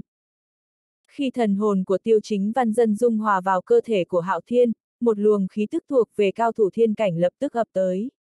Nhìn thấy khoảnh khắc này, không một ai trong số đám người là không kinh hãi tới mức biến sắc. chương 4720 đặc biệt là mấy người Diệp Hồng Đồ, ngay cả Trấn Bắc Phương cũng kinh ngạc tới độ há hốc miệng. Đó là cao thủ thiên cảnh đấy, cả âm phủ, cao thủ thiên cảnh cũng chỉ là số ít, nếu không thì hai bố con tả bạch đào tại sao có thể như mặt trời buổi ban trưa ở nơi âm ti địa phủ. Cậu là cao thủ thiên cảnh sao, Trấn Bắc Phương vô thức buột miệng. Diệp Phàm càng kinh ngạc tới cực điểm. Trước đây anh ta cũng biết Tiêu Chính Văn là một cao thủ đỉnh cao, đặc biệt khi đánh bại Lý Thiên Tứ với một cú đấm, phất ống tay áo đã đánh bại Trấn Bắc Phương, anh ta đều tận me chứng kiến. Thế nhưng không ai ngờ được đối phương lại là một cao thủ thiên cảnh. Nghĩ tới độ khó khi đột phá lên thiên cảnh ở âm phủ gần như còn gấp mấy lần thậm chí là mấy chục lần. Bởi vì đất trời ở bên phía âm phủ và bên phía vùng ngoài lãnh thổ hoàn toàn không giống, chưa nói tới chuyện sinh tử đảo ngược mà còn phải chịu sự áp chế của đất trời. Vào khoảnh khắc thần hồn của tiêu chính văn hoàn toàn dung hòa với cơ thể của hạo thiên, cỗ khí tức chỉ cường giả thiên cảnh mới có lập tức biến mất. Ẩm, tiêu chính văn chỉ tay ra, cả huyết ô trí thức thì dâng lên những con sóng lớn kinh thiên động địa cao tới cả mấy nghìn mét. Tiêu chính văn chậm rãi mở to hai mắt, khí tức của cảnh giới đế cảnh lập tức ập tới, mặc dù lúc này sự kiểm soát của tiêu chính văn đối với cơ thể này vẫn chưa mấy nhanh nhạy, thế nhưng ít nhất thì cơ thể này cũng mạnh hơn rất rất nhiều so với tư mã tư mọi người nhìn hạo thiên đã chết mấy trăm năm, vành mắt của đám người nhà họ Diệp và mấy người Trấn Bắc Vương lập tức hướt lệ. Mặc dù bọn họ biết hạo thiên trước mắt này chỉ là cái thân xác còn thần hồn thì đã không tồn tại từ lâu, thế nhưng tư thế oai hùng và bá khí vô song đó lại cực kỳ giống với hạo thiên năm xưa ồ vào khoảnh khắc mọi người còn đang cảm khái, đột nhiên trên đỉnh đầu tiêu chính văn xuất hiện ba con rồng lớn. Và cả hai con rồng nhỏ một trắng một tím, phát ra những tiếng rồng ngâm gầm gừ. Gừ tiếng rồng ngâm mạnh mẽ có lực truyền ra khắp cả âm phủ chỉ trong nháy mắt. Không chỉ phương Bắc, cả âm phủ đều bị tiếng rồng ngâm này làm cho chấn động. Rồng ngâm, trong âm phủ của chúng ta sao có thể xuất hiện tiếng rồng ngâm cơ chứ? Đây rốt cuộc là ai mà lại tu luyện được khí tức của rồng bên trong âm phủ? Rồng vốn dĩ chỉ tồn tại ở đất trời, tuyệt đối không thể xuất hiện ở âm phủ. Lẽ nào là, vô số người ngẩng đầu nhìn về phía con rồng lớn đang bay trên bầu trời, đồng loạt suy đoán thân phận của đối phương. Khí tức cường bạo của rồng lấy tiêu chính văn làm trung tâm, lập tức lan tràn ra khắp bốn phương. Né dai sách mặt của Trấn Bắc Phương lập tức biến đổi. Đây là khí tức của rồng, là khắc tinh của người trong âm phủ. Dù có tu vi ra sao, chỉ cần bị luồng khí tức của rồng này chạm vào, dù chỉ là một góc áo thì đều sẽ hóa thành cho bụi chỉ trong nháy mắt. Cùng với một tiếng gầm lớn của Trấn Bắc Phương, mọi người lúc này mới đồng loạt lùi ra xa mấy trăm mét, đứng từ xa quan sát tất cả những chuyện này. chương 4721 chỉ thấy vô số luồng khí tức của rồng nhanh chóng bay vào bên trong cơ thể của tiêu chính văn, một vầng sáng màu vàng bao vây lấy tiêu chính văn chỉ trong nháy mắt. E rằng ngay tới tả bạch đào cũng không có loại khí thế này nhỉ. Diệp Hồng Đồ không khỏi cảm thán lên tiếng. Khi khí thức của rồng không ngừng dung hòa với cơ thể mới này của tiêu chính văn, những trận gió điên cuồng mà khí tức của rồng tạo ra rất nhanh cũng hình thành nên gió xoáy cực lớn trong không trung. Nháy mắt, khí tức thuộc về cảnh giới đế quân đỉnh cao bộc phát ra bên ngoài. Cũng trong nháy mắt, trên cơ thể của Hạo Thiên cũng xuất hiện vô số vết nứt.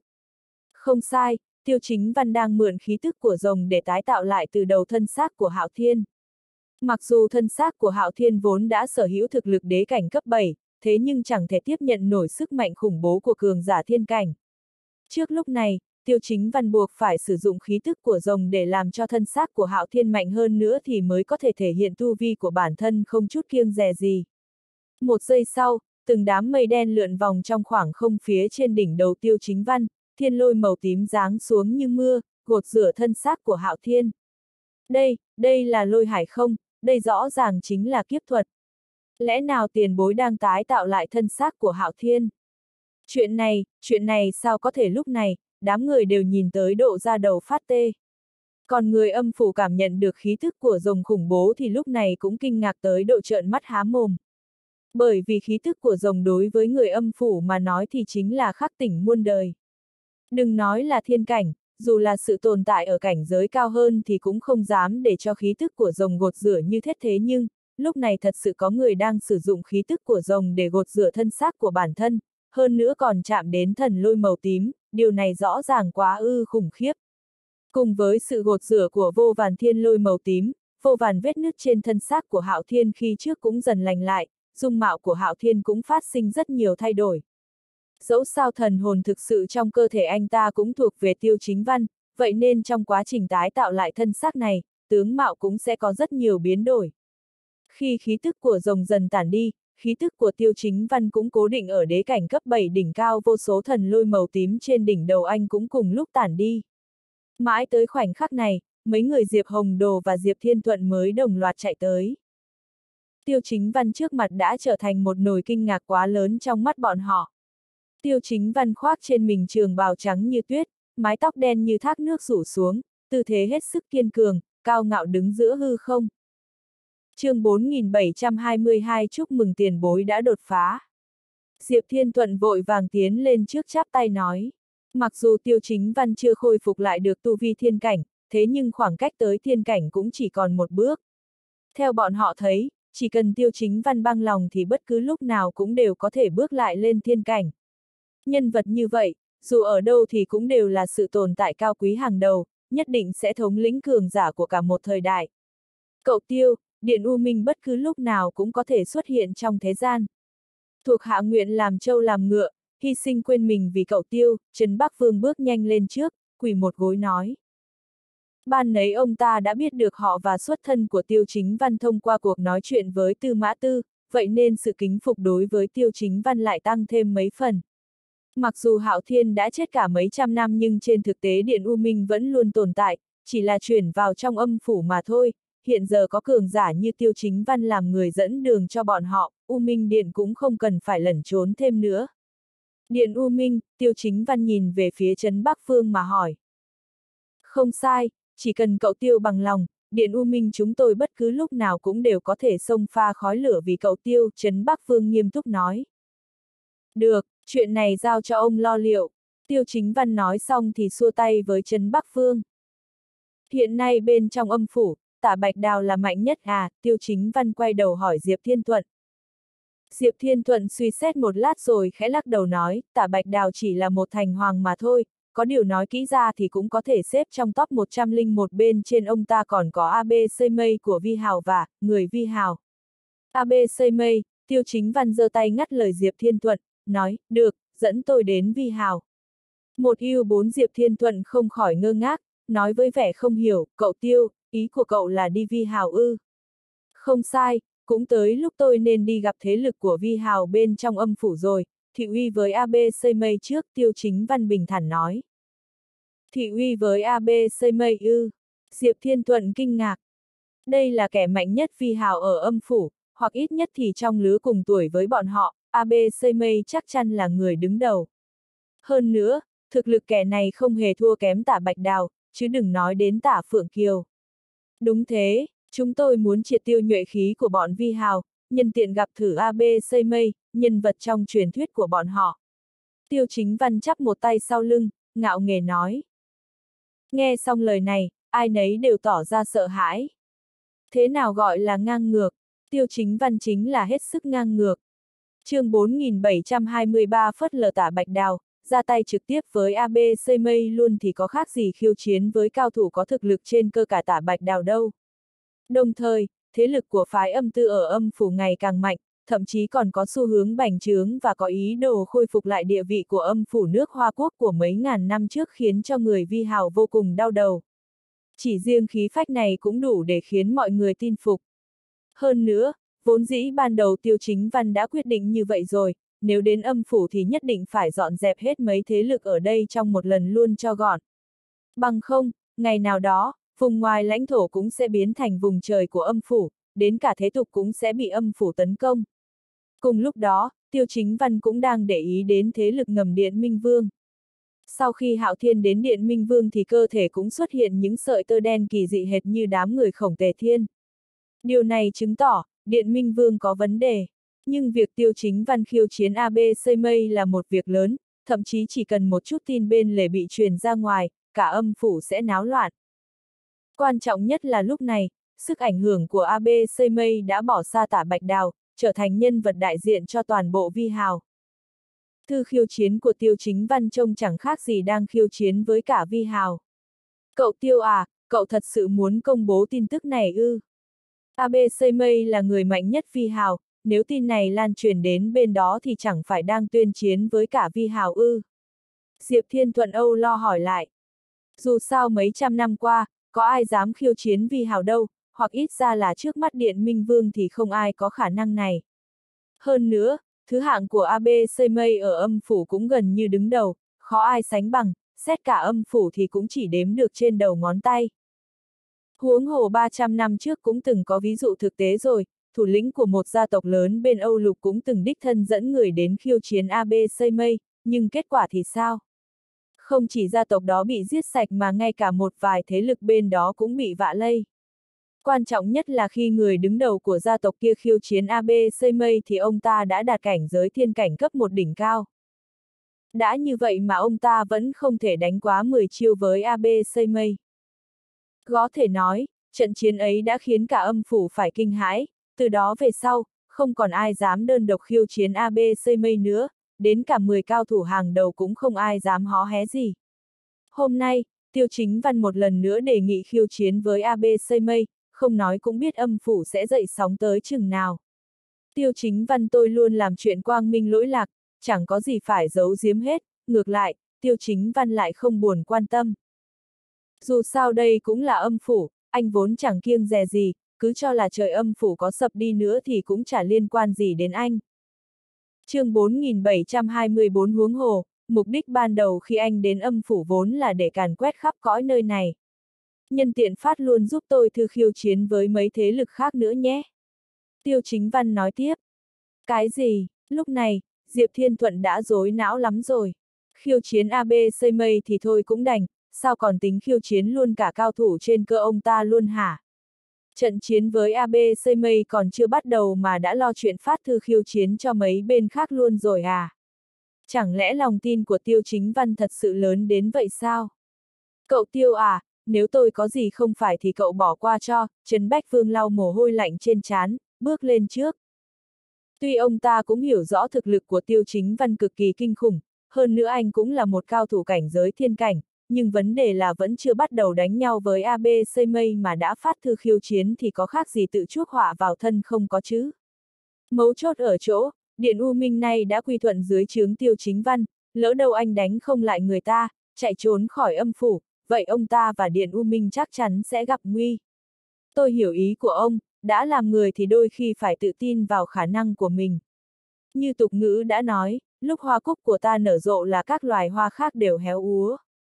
Tiêu chính văn chắp tay đứng đó, giờ phút này, anh tựa như một thiên thần tuyệt đỉnh trên cao tầm nhìn trải rộng khắp trốn, dù là thế gian vạn vật, tất cả đều nguyện cúi đầu thần phục. Tuy Trấn Bắc Vương vẫn thấy âu lo nhưng Tiêu Chính Văn đã nói đến thế rồi, ông ta cũng không nên phản bác thêm gì, vì vậy thư khiêu chiến của Tiêu Chính Văn được phát ra ngay lập tức. Gần như chỉ trong một đêm, thế lực ở khắp mọi nơi đều biết được tin Tiêu Chính Văn sắp hẹn AB xây mây chiến đấu một trận, nhất thời, khắp nơi đều khiếp sợ ngay lúc này, tại cung Tenso ở Vi Hào. Nơi này là cung điện của vị thần tối cao nhất Vi Hào, cũng là biểu tượng của Vi Hào tại âm phủ. Ngay lúc này, mười mấy bóng người đang đứng ở đại điện, mỗi người trong số họ đều có thực lực không tầm thường. Vử cho dù là người yếu nhất trong đó cũng từng đạt được uy danh hiển hách. Người đứng đầu mang vẻ mặt nghiêm túc nhìn về phía mọi người, khi ánh mắt của ông ta liếc ngang gương mặt mỗi người, ai nấy đều vội vã cúi đầu. Không ngờ rang âm phủ ngày nay còn có kẻ điên như vậy. Chẳng qua, dù kết quả có ra sao thì khí phách này cũng khiến người ta kính phục. Tenso không khỏi bị khí phách của tiêu chính văn đả động. Đại nhân Tenso, có người muốn khiêu chiến AB xây mây thật ư. Không phải là đám quỷ già trong địa ngục đấy chứ. Đối diện với mọi người, Tenso để lộ vẻ độc ác. Không thể nào, đám quỷ già dưới địa ngục chỉ cần hơi ngọ nguậy thì phía âm tư sẽ liên lạc với ta ngay, có lẽ người này không phải người Hoa Quốc. Tenso híp mát, lạnh lùng nói. chương 4725 nói vậy thì bên Hoa Quốc lại xuất hiện một người mới à? Nhưng có hai người tả bạch đào chèn ép, suốt mấy trăm năm qua, Hoa Quốc đâu còn kiểu người như thế này xuất hiện nữa. Nghe đến đây, ánh mắt ai cũng lộ ra sự mơ hồ.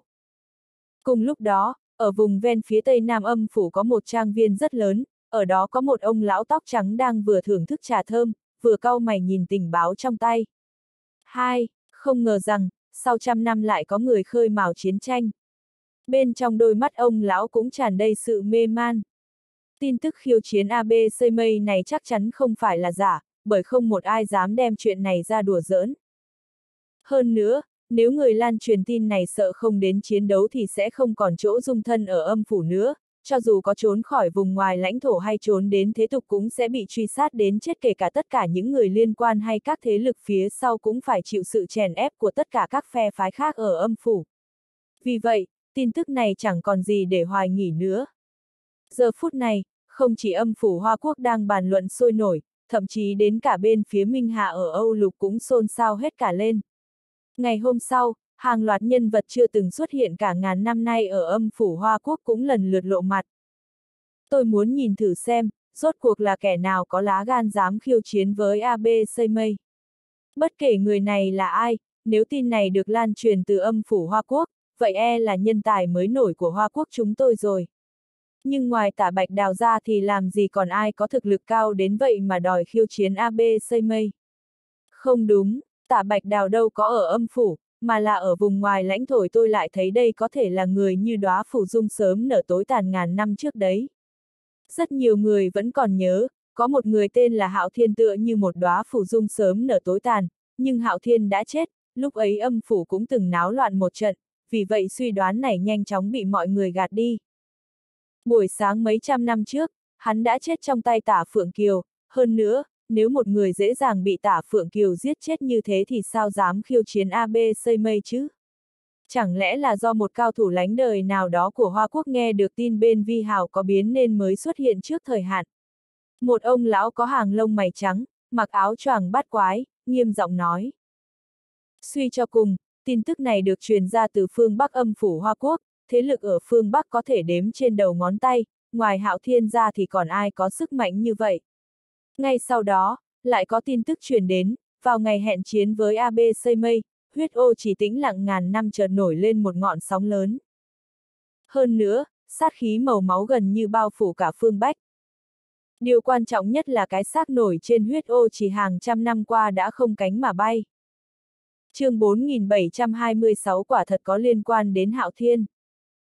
Không ai tin Hạo Thiên chết đi sống lại, ngay cả ở âm phủ cũng không có chuyện trở về từ cối chết. Nhưng xác của Hạo Thiên đã không cánh mà bay, có nghĩa là chuyện này chắc chắn có liên quan đến Hạo Thiên. Ngoài các gia tộc lớn ở phương Bắc có liên quan đến Hạo Thiên gia thì chỉ có Điện Minh Vương luôn ẩn thế mà thôi. Trong chốc lát, không ít người đều hướng sự chú ý về Điện Minh Vương. Vừa có liên quan đến Hạo Thiên, vừa có sức mạnh khiêu chiến với Vi Hào, ngoại trừ Điện Minh Vương ra thì không còn ai khác. Nếu không, các gia tộc phương Bắc cũng sẽ không năm bè bảy mảng, mà bị thế gia này thống nhất từ lâu rồi. Xem ra khả năng lớn là cao thủ do Điện Minh Vương phái tới. Đúng vậy, ngoại trừ Điện Minh Vương ra thì còn ai có sức mạnh và khí thế như vậy. Xem ra lần này Điện Minh Vương cũng muốn nhân cơ hội để mở rộng sức ảnh hưởng của mình, vận may lần này của Vi Hào thật sự không tốt lắm. Trong khi mọi người đang bàn tán xôn xao thì đã có không ít thế gia bắt đầu phái người đến Điện Minh Vương để thăm dò tin tức. Nhưng đám người kia còn chưa kịp tìm đến Điện Minh Vương thì phía Điện Minh Vương đã phái người lên tiếng. Chuyện này không liên quan gì đến Điện Minh Vương. Tin tức này vừa truyền ra ngoài, tứ phương đều chết lặng. Điện Minh Vương dám đùa dốn chuyện này sao? Nếu không phải Điện Minh Vương thì là A. Mọi người đừng hiểu lầm, từ đầu đến cuối Điện Minh Vương chúng tôi chưa từng có tiếp xúc gì với Vi Hào, chứ huống chỉ là thủ oán, càng không có lý do gì phái người đánh Vi Hào. Một vị trưởng lão của Điện Minh Vương công khai lên tiếng, còn cố ý lớn tiếng để phía Vi Hào nghe thấy. Bỗng chốc toàn bộ sự việc còn trở nên kỳ lạ và khó đoán hơn. Lúc này, trong một ngôi nhà cổ ở Vi Hào, một người đàn ông tóc dài đang đứng kiêu hãnh trên biển oán tam thế. Nhìn sóng dữ trong biển oán, người đàn ông tóc dài lại vững vàng như núi. Biển oán tam thế là đường nối giữa âm phủ Hoa Quốc và âm phủ Vi Hào, nước biển đen kịt nhìn mãi không thấy bờ. Dưới những cơn sóng khổng lồ, có vô số xác chết đang vùng vẫy dưới đáy biển. Người đàn ông tóc dài đứng dưới cơn sóng lớn, nhưng cơn sóng đen tuyền không thể chạm vào một góc áo của Hàn. Thực ra cảnh tượng này không có gì là lạ đối với cao thủ nhưng lúc này lại thu hút sự chú ý của rất nhiều cao thủ. Hai bên bờ biển đông nghịt người, vô số người căng thẳng nhìn người đàn ông này, thậm chí trong đám người còn có không ít cao thủ đại đế. Những người đang xem đều lộ ra vẻ kinh ngạc. chương 4727 bởi vì người đàn ông trước mặt không hề dùng trận pháp, cũng không có khí thức bảo vệ, mà đứng trên biển oán với tư thái của một người bình thường. Biển oán khác với nước biển bình thường, nó sinh ra từ lòng oán hận của con người. Ngay cả cao thủ nhân hoàng cũng không thể đi trên sóng, chỉ có những cao thủ đế cảnh trở lên mới có thể đứng trên mặt biển với khí thức hộ thân. Nhưng lúc này, người đàn ông tóc dài này lại không dùng đến tu vi hay phương thức nào mà vẫn có thể đứng kiêu ngạo trên biển oán với tư thái của một người bình thường. Chỉ riêng điều này cũng đã khiến mọi người kinh ngạc. Ông nội ơi, người đó là ai? Trong đám người, một cô bé chỉ vào người đàn ông tóc dài trên biển oán, hỏi ông lão tóc trang bên cạnh. Người này chính là AB Mây nổi tiếng ở Vi Hào. Ông lão tóc trắng thở dài. Người đó đứng trên biển làm gì vậy? Có phải bố hay mẹ người đó rơi xuống biển rồi không? Cô bé hỏi với giọng trẻ con. Khu khụ khu, ông lão ho dữ dội khi nghe cô bé hỏi. Nói năng lung tung, có thể đứng trên biển oán với tư thái của một người bình thường chính là minh chứng cho sức mạnh. Cháu hiểu gì chứ ông lão cau mày trách mắng. Lúc này, không ít người bay lên cao, chăm chú quan sát AB xây mây. Nghe nói AB xây mây đã lĩnh ngộ được quy chân, vô niệm chấn động trời đất, đã đạt đến cảnh giới người là trời, trời là người, trời và người hợp nhất. Người bên cạnh cũng bắt đầu nhỏ giọng thảo luận. Sự thật quả đúng như người này nói, chỉ cần lĩnh ngộ được quy chân thì không khác gì thần thiên thời cổ đại. Không còn bị trời đất trói buộc nữa, mà có thể kết nối với trời đất, thậm chí là sống cùng trời đất. Nhưng lúc AB mây vừa quay người lại, một lồng ánh sáng bản ra như chớp. AB mây bất ngờ ra tay, chặn luồng sáng ngay trước mặt mình nửa mét. AB mây mở lòng bàn tay, từ trong luồng sáng đó lộ ra một quyển sách lụa trắng tuyết. AB mây cầm quyển sách lụa lên nhìn lướt qua, trên đó có chữ thư khiêu chiến. Thật thú vị, đã lâu rồi không có ai dám khiêu chiến với tôi. AB mây quay đầu nhìn về phía Hoa Quốc, sau đó chậm rãi mở miệng nói, tôi tiếp chiến. Câu nói vang vọng khắp Hoa Quốc, nước biển trong biển oán tam thế cũng bị hàng vạn con sóng khuấy động. Lúc này, không chỉ cả vi hào mà cả Hoa Quốc cũng chấn động. Chủ nhân, luồng ánh sáng lúc này là thư khiêu chiến sao? chương 4728 lúc này, một thanh niên mặc trang phục võ sĩ vi hào bước tới bên cạnh AB Seimei, cau mày hỏi. Hắn là Inoue Nosuke, một trong những đệ tử của AB mây. Đúng vậy, AB mây chỉ nhẹ nhàng gật đầu đáp. Nghe vậy, tất cả mọi người có mặt đều kinh ngạc, đặc biệt là những cao thủ Hoa Quốc đều lộ ra vẻ nghỉ hoặc. Thư khiêu chiến đến từ Hoa Quốc, sao có thể như vậy? Đã rất nhiều năm rồi Hoa Quốc không có cao thủ đặc biệt như vậy, trong ấn tượng của bọn họ, ngoài trừ bố con tả bạch đào thì không ai có đủ tư cách để khiêu chiến AB mây. Lẽ nào là cao thủ do âm phủ Hoa Quốc phái tới? Thế lực nào phái người tới khiêu chiến thì quan trọng sao? Nếu đã nhận thư khiêu chiến thì chỉ cần ứng chiến là được. AB Seimei nhìn về phía Hoa Quốc với ánh mắt vô cùng tự tin. Nhưng Inoue Nosuke lại lộ ra vẻ châm chọc, người Hoa Quốc đâu biết trong những năm qua AB Seimei đã biến bộ vượt bậc. Không còn là AB Seimei của mấy trăm năm trước nữa rồi. Châu tủa tới, có thể nói, thực lực của AB mây lúc này vô cùng đáng sợ, chỉ riêng cảnh đứng trên biển oán tam thế như người bình thường cũng đủ để áp đảo toàn bộ Hoa Quốc. Chưa kể trước đây, AB mây đã có thể một mình áp đảo cả Vi Hào. Chỉ riêng danh tiếng lừng lẫy và thành tích vô song này cũng đủ khiến cả thế giới phải bái phục. Chủ nhân, không biết tên nào ở Hoa Quốc không biết sống chết mà lại dám khiêu chiến với ngài. Inoue Nosuke nhếch mép hỏi. Cậu cho rằng ngoài tả bạch đào ra thì còn ai khác? Ngay cả con gái của ông ta cũng không dám khiêu chiến với tôi. Abe Seimei lạnh lùng nói. Ông ta cho rằng trong thế hệ trẻ Hoa Quốc, không ai đủ tư cách và dũng khí này. Tả Bạch Đào, chẳng phải ông ta đang chiến đấu ở vùng ngoài lãnh thổ sao? Inoue Nosuke nghỉ ngờ hỏi.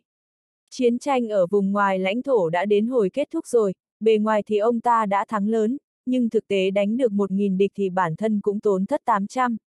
Chỉ là, tôi đã đợi trận chiến này 300 năm rồi.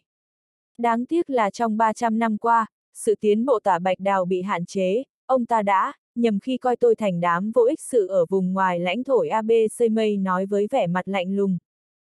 Thực ra ân oán giữa ông ta và tả bạch đào đã kéo dài hàng nghìn năm, nhưng cho đến nay, Vi Hào luôn chịu sự áp chế của Hoa Quốc, vì vậy ông ta mới đành phải chịu đựng.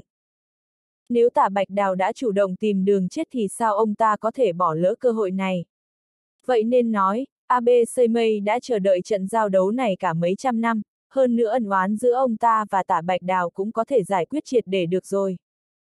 chương 4729 mà thông tin này cũng đồng thời lan truyền khắp âm phủ, bên phía Hoa Quốc cũng đồng loạt đổ đồn ánh mắt về phía Vi Hào thêm lần nữa. Dẫu sao trận đại chiến giống như vậy chắc chắn sẽ thu hút sự dòm ngó của không ít người, gần như vào cùng một ngày, vô số cao thủ đã đồng loạt tiến về phía Vi Hào. Cả bầu trời Đông Hải gần như đều là những người tới xem. Chỉ có điều, những người này không hề tiến vào phạm vi thế lực của Vi Hào mà chỉ quan sát từ xa. Một mặt, những người này vẫn kiêng nể thực lực của AB Xây Mây, không dám tùy ý tiến vào địa bàn của Vi Hào, mặt khác, giữa âm phủ và AB Mây cũng từng có ước định. Đối phương chỉ khuất phục, thế nhưng không nói lên rằng cường giả của Hoa Quốc có thể tùy ý tiến vào Vi Hào. Đặc biệt là AB Mây và Tả Bạch Đào là hai tự tồn tại đỉnh cao, cho dù đắc tội với bên nào thì hậu quả cũng đều không phải là thứ mà những người này có thể gánh vác được. Đây cũng là lý do tại sao đã mấy trăm năm không có ai dám đi khiêu chiến với những cường giả đỉnh cao này, bởi vì tới lúc đó đen đủi không chỉ là bản thân mà còn có khả năng là thế lực phía sau lưng mình nữa. Thế nhưng, trận đại chiến hiếm có như vậy, nếu như không thể tận mắt chứng kiến, đối với rất nhiều người mà nói đều sẽ ân hận cả đời. Dẫu sao cao thủ ở cảnh giới như vậy giao đấu không phải ngày nào cũng có thể chứng kiến, dù chỉ là quan sát thì cũng có thể giúp cho bọn họ thu được rất nhiều lợi ích từ bên trong. Bên phía tiêu chính văn lúc này cũng dẫn đám người chuẩn bị xuất phát.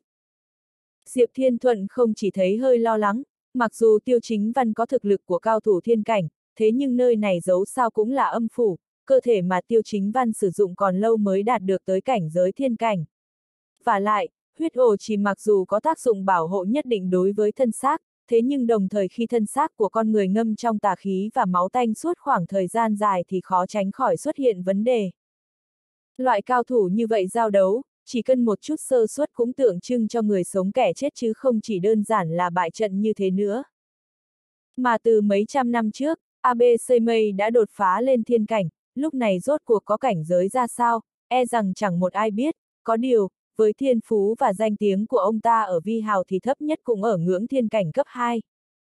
Nhiều đó cũng đã cách biệt cả một bậc cảnh giới, cũng có thể nói, tiêu chính văn không chỉ phải chống lại sự trói buộc của âm phủ dành cho anh mà thân xác bất cứ lúc nào cũng có thể xảy ra vấn đề, vẫn phải ngược dòng chém giết. Đổi lại là người khác, thậm chí ngay cả dũng khí ra tay cũng chẳng còn nữa, còn tiêu chính văn vẫn mang dáng vẻ ngập tràn tự tin, điều này càng khiến cho Diệp Thiên Thuận lo lắng muôn phần.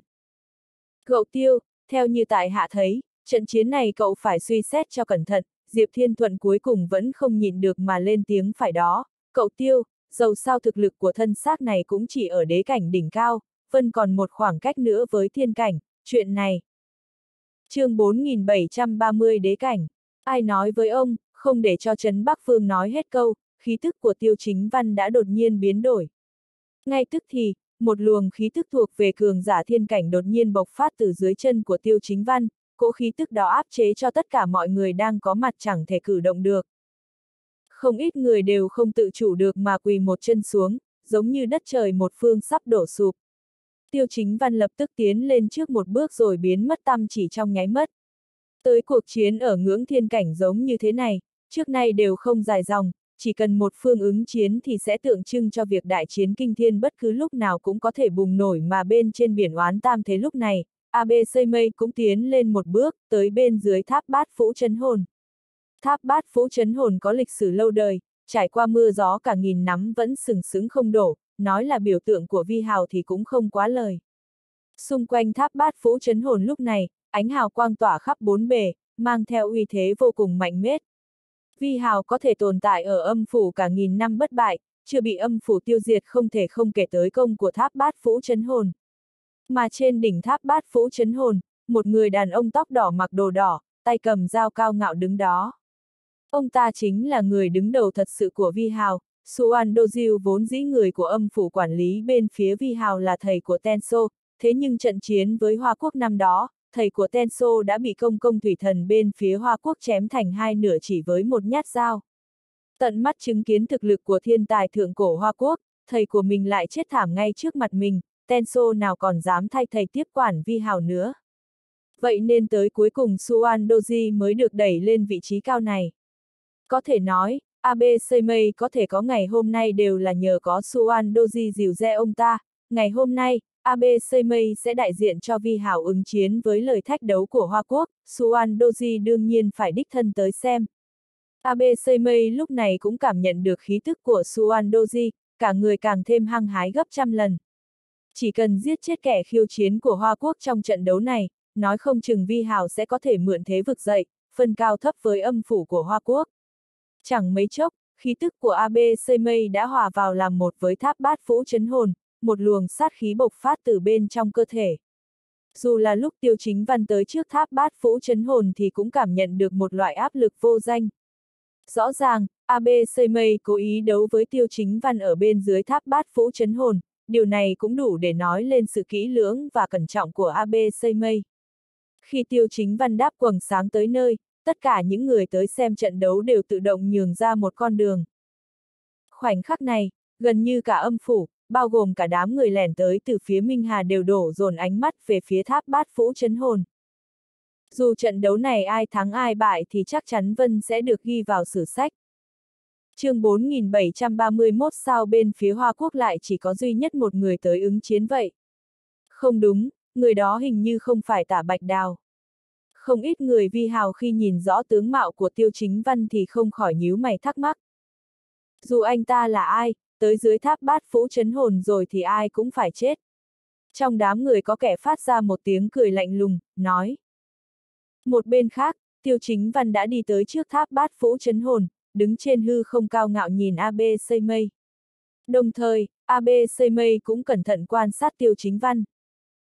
Vậy mà lại là một kẻ tiểu bối 2 AB xây mây vừa nhìn đã nhận ra tiêu chính văn còn chưa tới 30 tuổi, cũng có thể nói, người khiêu chiến với ông ta chẳng những không phải tả bạch đào mà còn là một đứa nít danh vắt mũi chưa sạch.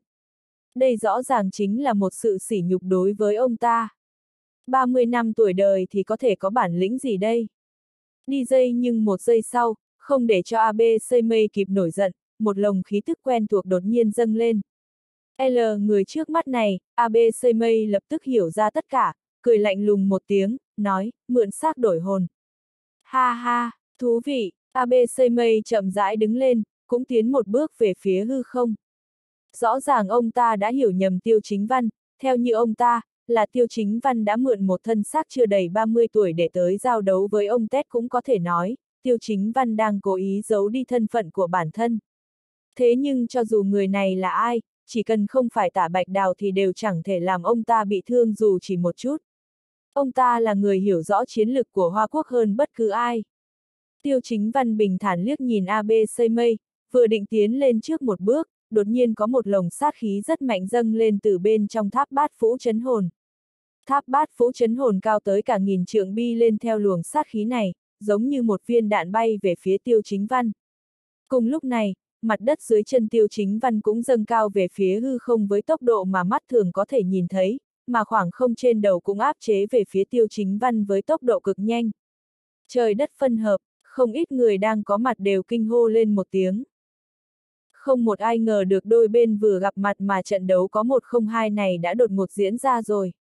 Chiêu này của AB Seimei cực kỳ khủng bố, dùng đất trời để áp chế tiêu chính văn, đồng thời lại dùng ám khí bên trong tháo bát phũ chấn hồn để trói lấy tay chân của tiêu chính văn.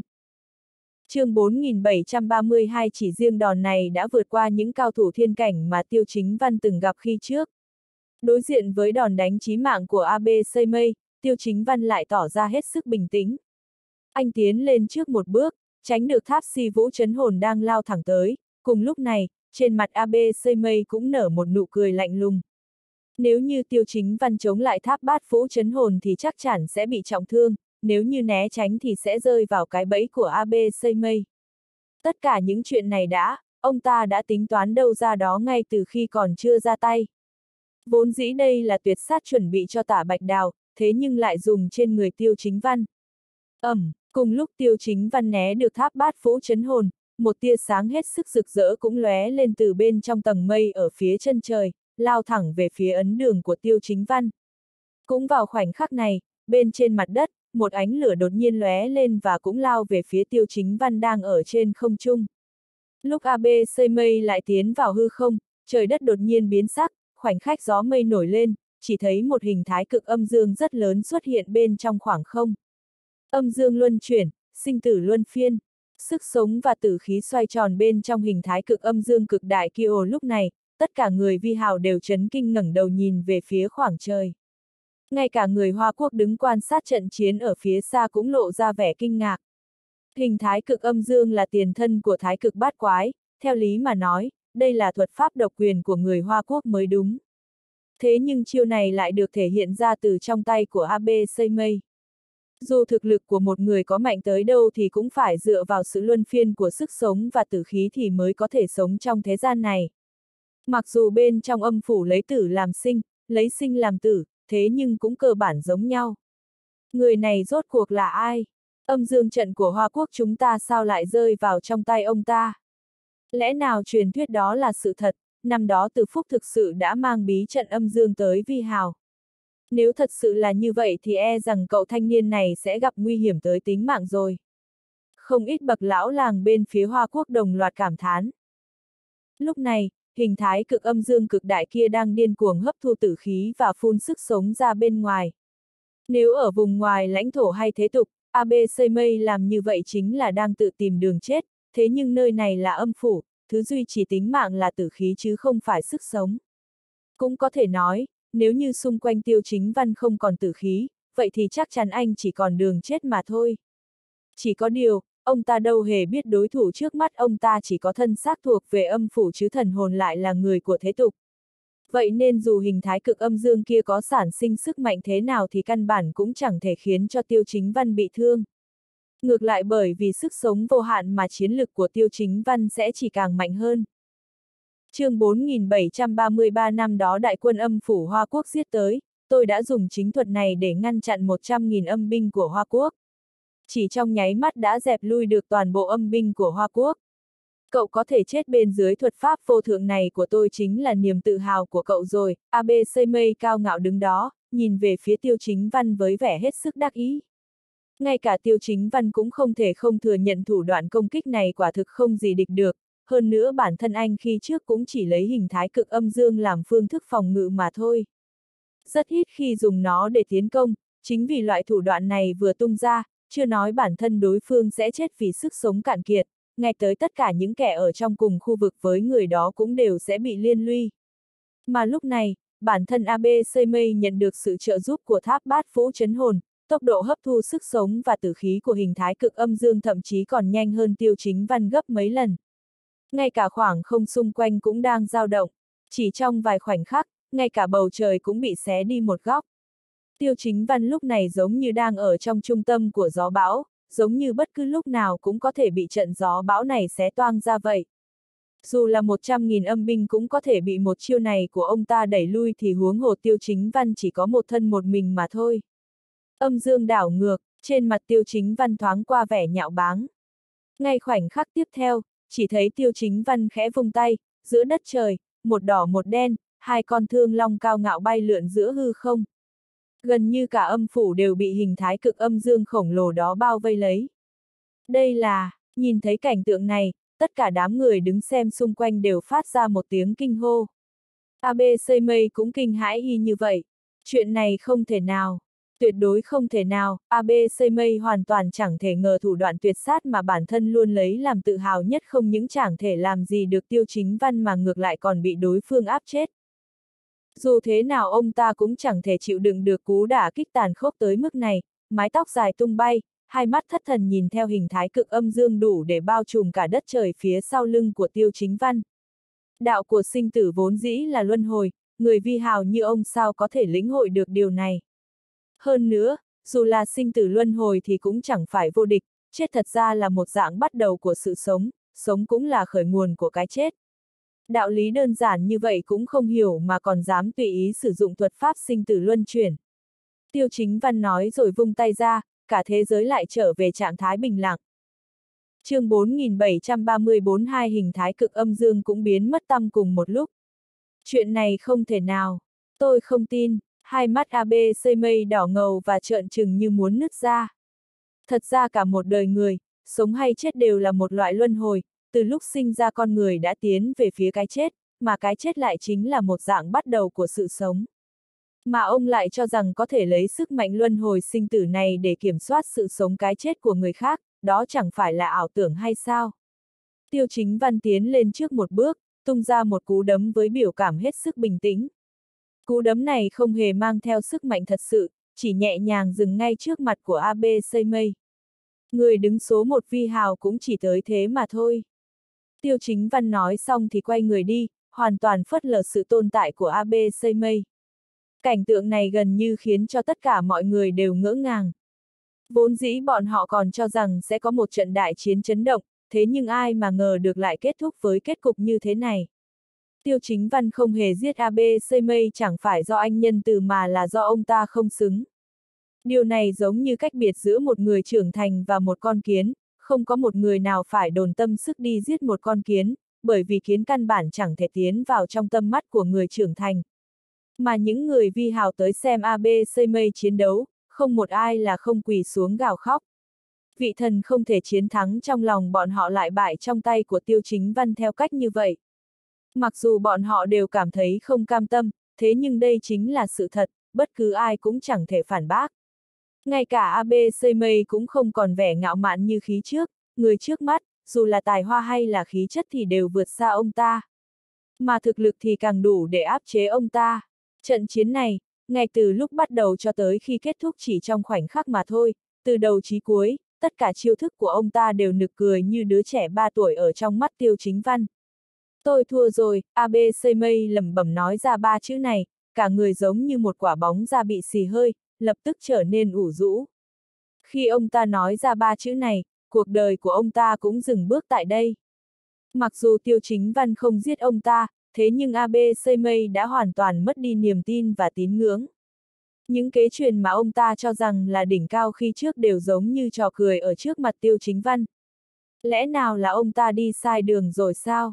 Lẽ nào là Vi Hào đi sai đường rồi sao? Lẽ nào Vi Hào thật sự chỉ là đám người mặt hạng như người Hoa Quốc vẫn nói sao? Tất cả người Vi Hào, tận lực cả đời cũng chỉ xứng làm nô lệ của người Hoa Quốc.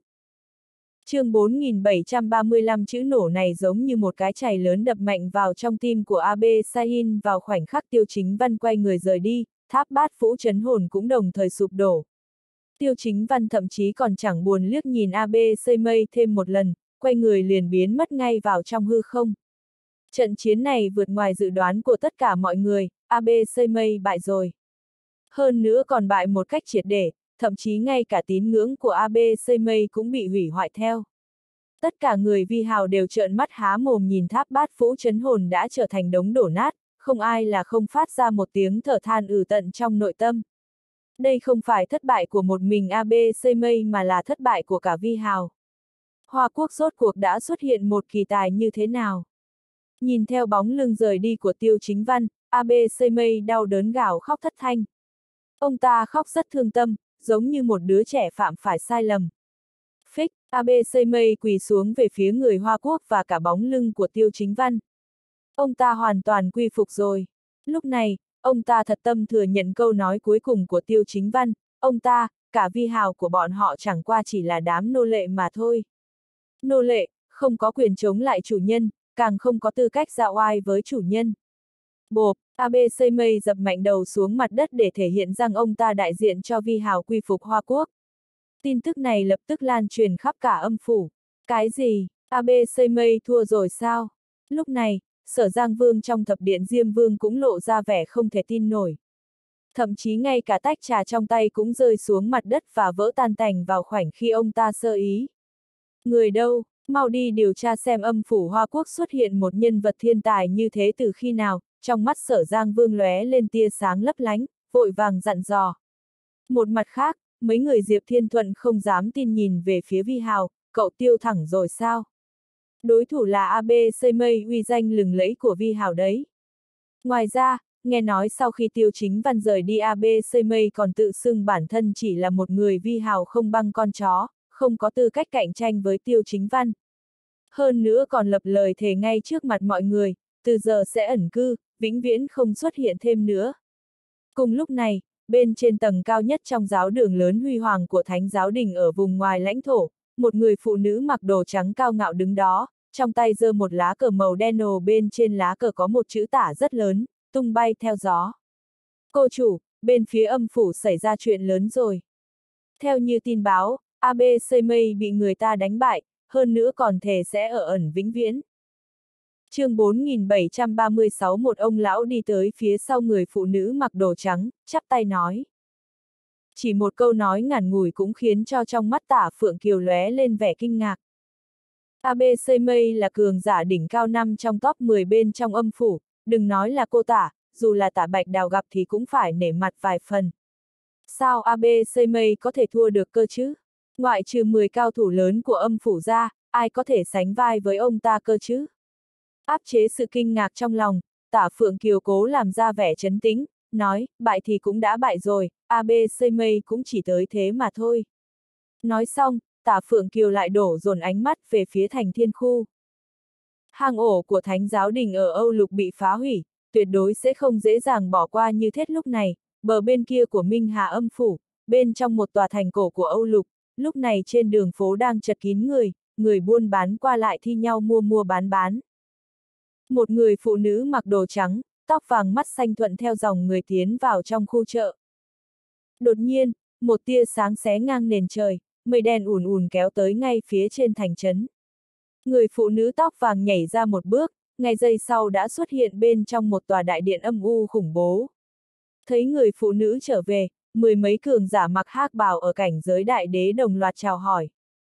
Người phụ nữ tóc vàng chẳng buồn nhìn mười mấy cường giả cấp đại đế đó lấy một lần, sải bước đi tới ngai vàng nữ vương đặt ngay chính giữa.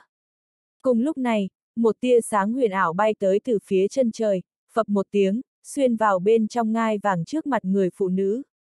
Ánh sáng huyền ảo tản đi, lộ ra một tấm lụa màu trắng, bên trên chỉ có một chữ chiến rất lớn.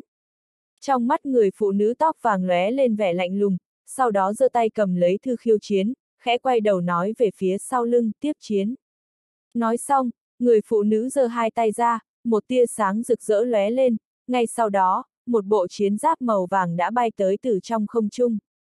Một giây sau, người phụ nữ mặc chiến giáp, khoác áo tơi màu đỏ như lửa, ngồi nghiêm chỉnh trên ngai vàng, một cỗ bá khí vương đại lập tức bao trùm.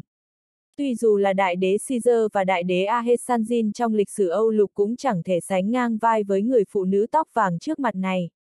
Tin tức phụ nữ đại diện cho Minh Hà Âu lục ứng chiến vừa mới truyền ra đã khiến cho cả âm phủ kinh hoàng. ABC Mây vừa từ dưới đất đứng dậy, trên mặt lại lộ ra vẻ không thể tin nổi. Theo tôi về điện Tenso, vào khoảnh khắc ABC Mây đang ngẩn ra, một giọng nói lạnh tanh vang lên, ABC Mây không khỏi cảm thấy dùng mình, một giây sau, không gian chợt trở nên méo mó, cơ thể của ABC Mây cũng biến mất tăm. Bên trong cung sở Giang Vương lúc này, sở Giang Vương lại lộ ra vẻ mặt phấn khích. Rốt cuộc là ai, liên tiếp khiêu chiến với 10 người mạnh nhất âm phủ. Người đâu, đi điều tra cho tôi. Người giống như vậy có giá trị hơn gấp cả chục nghìn lần so với tả bạch đào chương 4737 chỉ cần có thể dụ dỗ cậu ta vào âm phủ thì chỉ cần chờ ngày thập điện diêm vương của tôi vực dậy nữa thôi. Ngay tức thì, cả âm phủ đều trở nên xôn xao dẫu sao thông tin ABC mây bại trận cũng đủ thế giới chấn động, thậm chí cả âm phủ đều đang bàn tán về chuyện này. Thế nhưng ai có thể ngờ được khi mà đầu đường cuối ngõ vẫn đang bàn tán thì lại có thêm một tin tức kinh thiên nữa nổ ra, Hoa Quốc lại có người chủ động khiêu chiến với nữ vương số một sở Giang Vương của Âu Lục. Gần như tất cả mọi người đều ngay lập tức nghĩ tới người thần bí đã đánh bại AB Seimei Kyo dẫu sao có thể có loại thực lực và cả sát khí này, ngoại trừ vị đó ra thì còn ai nữa.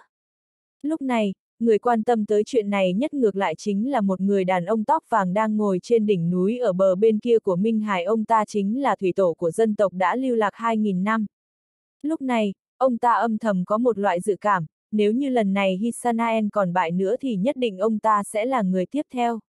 Ông ta vừa là thủy tổ của dân tộc lưu lạc, đồng thời cũng là nhân vật xếp trong top 3 của âm phủ.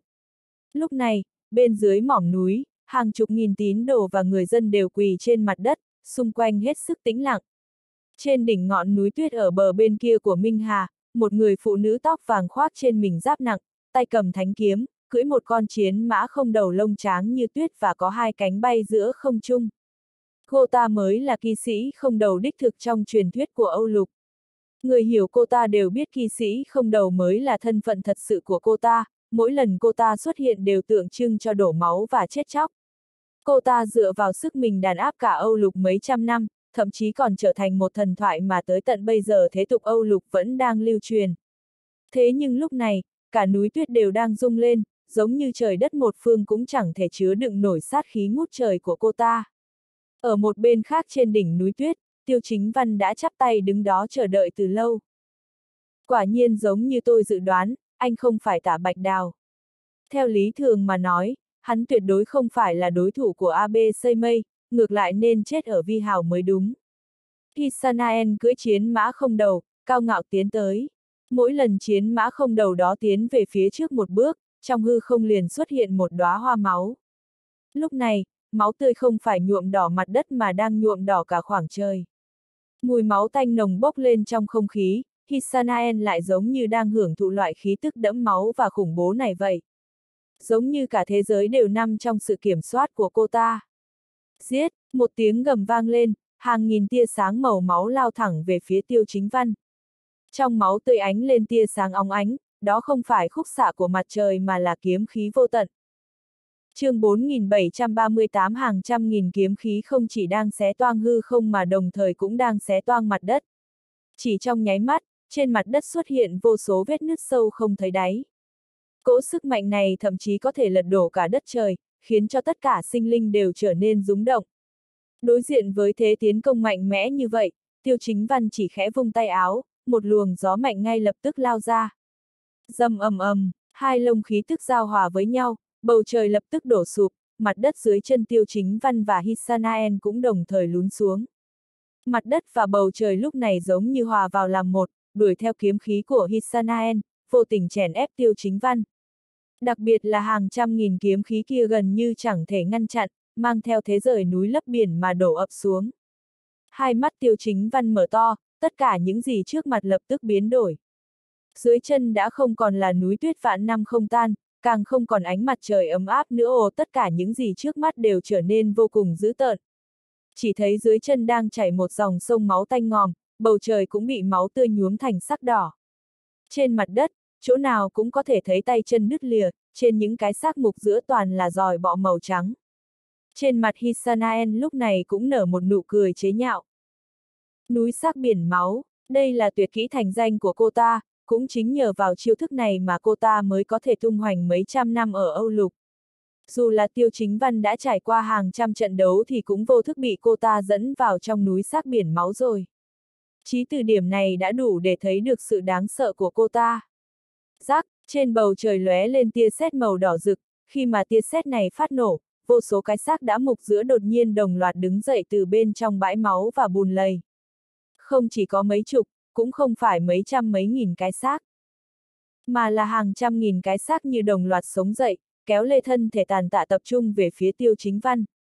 Đi phía trên đầu nhất lại là hàng trăm kỵ sĩ không đầu khoác chiến giáp hoen dỉ, mỗi một kỵ sĩ không đầu, trong tay đều cầm những thanh giáo dài cả mấy mét. Mà phía sau lưng bọn họ lại là những cái xác không nhìn thấy tận cùng, chỉ riêng khí thế khủng bố này đã đủ để khiến cho bất cứ đối thủ nào đều mất đi ý chí chiến đấu. Nháy mắt, tiêu chính văn đã bị quân đoàn chết chóc này bao vây vào chính giữa. chương 4739 giờ phút này, Hisanaen chính là vua của đoàn quân chết chóc này.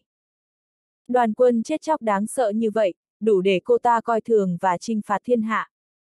Tiến công, cô ta vừa dứt lời, xung quanh lập tức vang lên tiếng chém giết chấn động trời đất. Đối mặt với đoàn quân chết chóc, tiêu chính văn vẫn không chút sợ hãi, mà lập tức tung năm đấm. Chỉ một cú đấm nhưng đã chấn động cả không trung. Khí tức mạnh mẽ lập tức xé huyết hà và đại địa dưới chân, nhưng thấy trời đất chia lìa, đoàn quân chết chóc kia vẫn mặc kệ, tiếp tục điên cuồng tấn công về phía tiêu chính văn. Tiêu chính văn tức giận gầm lớn, xông vào đoàn quân. Mặc dù tiêu chính văn chỉ có một mình, nhưng với sức mạnh của một người, anh đã có thể chống đỡ được đoàn quân chết chóc. Năm đấm sắt đá của tiêu chính văn vung ra nhẹ nhàng như cắt rau dưa, vô số xác chết tan nát, chân tay bay tứ tung. Hàng triệu quân chết chóc lập tức bị xé tan. Tiêu chính văn nhẹ nhàng vung một cú đấm, hàng trăm xác chết biến thành máu, mỗi một bước đi, có hàng trăm kỵ sĩ không đầu tan nát. Chẳng trách ngay cả AB Mây cũng chết trong tay cậu. Hisanaen đưa ra lời đánh giá cao với tiêu chính văn. Nhưng trên đời này có được mấy người có thể chống lại đoàn quân chết chóc của cô ta chủ lực của thập tự quân đông chỉnh trước đây chính là đoàn quân chết chóc của cô ta. Những xác chết này không có ý thức, không biết sợ hãi, trong mắt bọn họ chỉ có chém giết vô tận. Bóng chốc, đao kiếm đan sen, sát khí ngập trời. Đối mặt với đoàn quân chết chóc này, ngay cả tiêu chính văn cũng hơi nhíu mày. Nếu đoàn quân chết chóc này tiến vào giới thế tục thì hậu quả thật không thể tưởng tượng nổi. Trong số những xác chết này, hầu như không có ai yếu đuối, có sức mạnh của nhân hoàng hoặc thậm chí cao hơn, nhưng đây không phải là điều đáng sợ nhất. Điều đáng sợ nhất là đội quân tử thần này không có ý thức, không biết sợ hãi, chúng giống như những con rối, chỉ biết xông vào chém giết. Dường như máu tươi khiến bọn chúng hưng phấn hơn, tăng tốc lao nhanh về phía tiêu chính văn. Đối mặt với đoàn quân chết chóc, tiêu chính văn chỉ khít mũi rồi đưa tay lên. Lên, tiếng rồng gầm vang vọng khắp trời đất, nhìn thấy con rồng khổng lồ bay lên, Hisanaen trợn tròn mắt. Khí tức của rồng. chương 4740 đây là khắc tinh của âm phủ, thậm chí là cả Minh Hà. Một giây sau, một con thương long khổng lồ lao thẳng vào đoàn quân chết chóc, trong nháy mắt, vô số miếng thịt bay lên không trung, chân ai bay tung tóe khắp nơi. Chỉ trong tích tắc, hàng trăm triệu chết chóc đã bị xóa sổ. Sông máu vốn đã đỏ sẫm giờ lại càng thêm máu tanh, thịt vụn văng khắp nơi khiến Hisanaen cảm thấy ớn lạnh. Cậu, Hisanaen run rẩy, con chiến mã không đầu mà cô ta đang cưỡi cũng sợ hãi lùi lại phía sau. Tiêu chính văn bước lên, tiến đến gần Hisanaen, lúc này, trong mắt cô ta, người đàn ông trước mặt vô cùng đáng sợ. Ngay cả âm binh của âm phủ cũng phải sợ hãi trước đoàn quân chết chóc của cô ta, nhưng ở trước mặt người đàn ông này, đoàn quân chết chóc còn không chịu nổi một trưởng mà đã tan thành cho bụi. Vì vậy, trong mắt Hisanaen, sự kinh ngạc và sợ hãi mà tiêu chính văn mang lại cho cô ta gần như không thể diễn tả nổi. Quân số của đoàn quân chết chóc các người hơi ít, còn nữa không? Tiêu chính văn cười nói. Nghe vậy, Hisanaen vô cùng kinh ngạc. Người khác có thể không biết, nhưng cô ta biết rất rõ đoàn quân chết chóc có trên trăm triệu người, vậy mà lại bị giết toàn bộ trong một chiêu. Nếu tiêu chính văn giết từng tên một thì Hisanaen vẫn còn tâm trạng để xem kịch hay, nhưng chỉ trong một chiêu, đoàn quân chết chóc đã bị tiêu diệt toàn bộ, điều này đáng sợ đến mức nào. Nhìn thấy tiêu chính văn bước đến gần, Hisanaen hét lớn rồi ngất đi. Không phải là cô ta nhát gan, cũng không phải do tâm lý chịu đựng của cô ta kém cỏi. Cô ta là nhân vật chém giết tàn ác đẫm máu trong toàn bộ lịch sử Âu Lục. Mỗi người trong đoàn quân chết chóc đều chết dưới tay cô ta.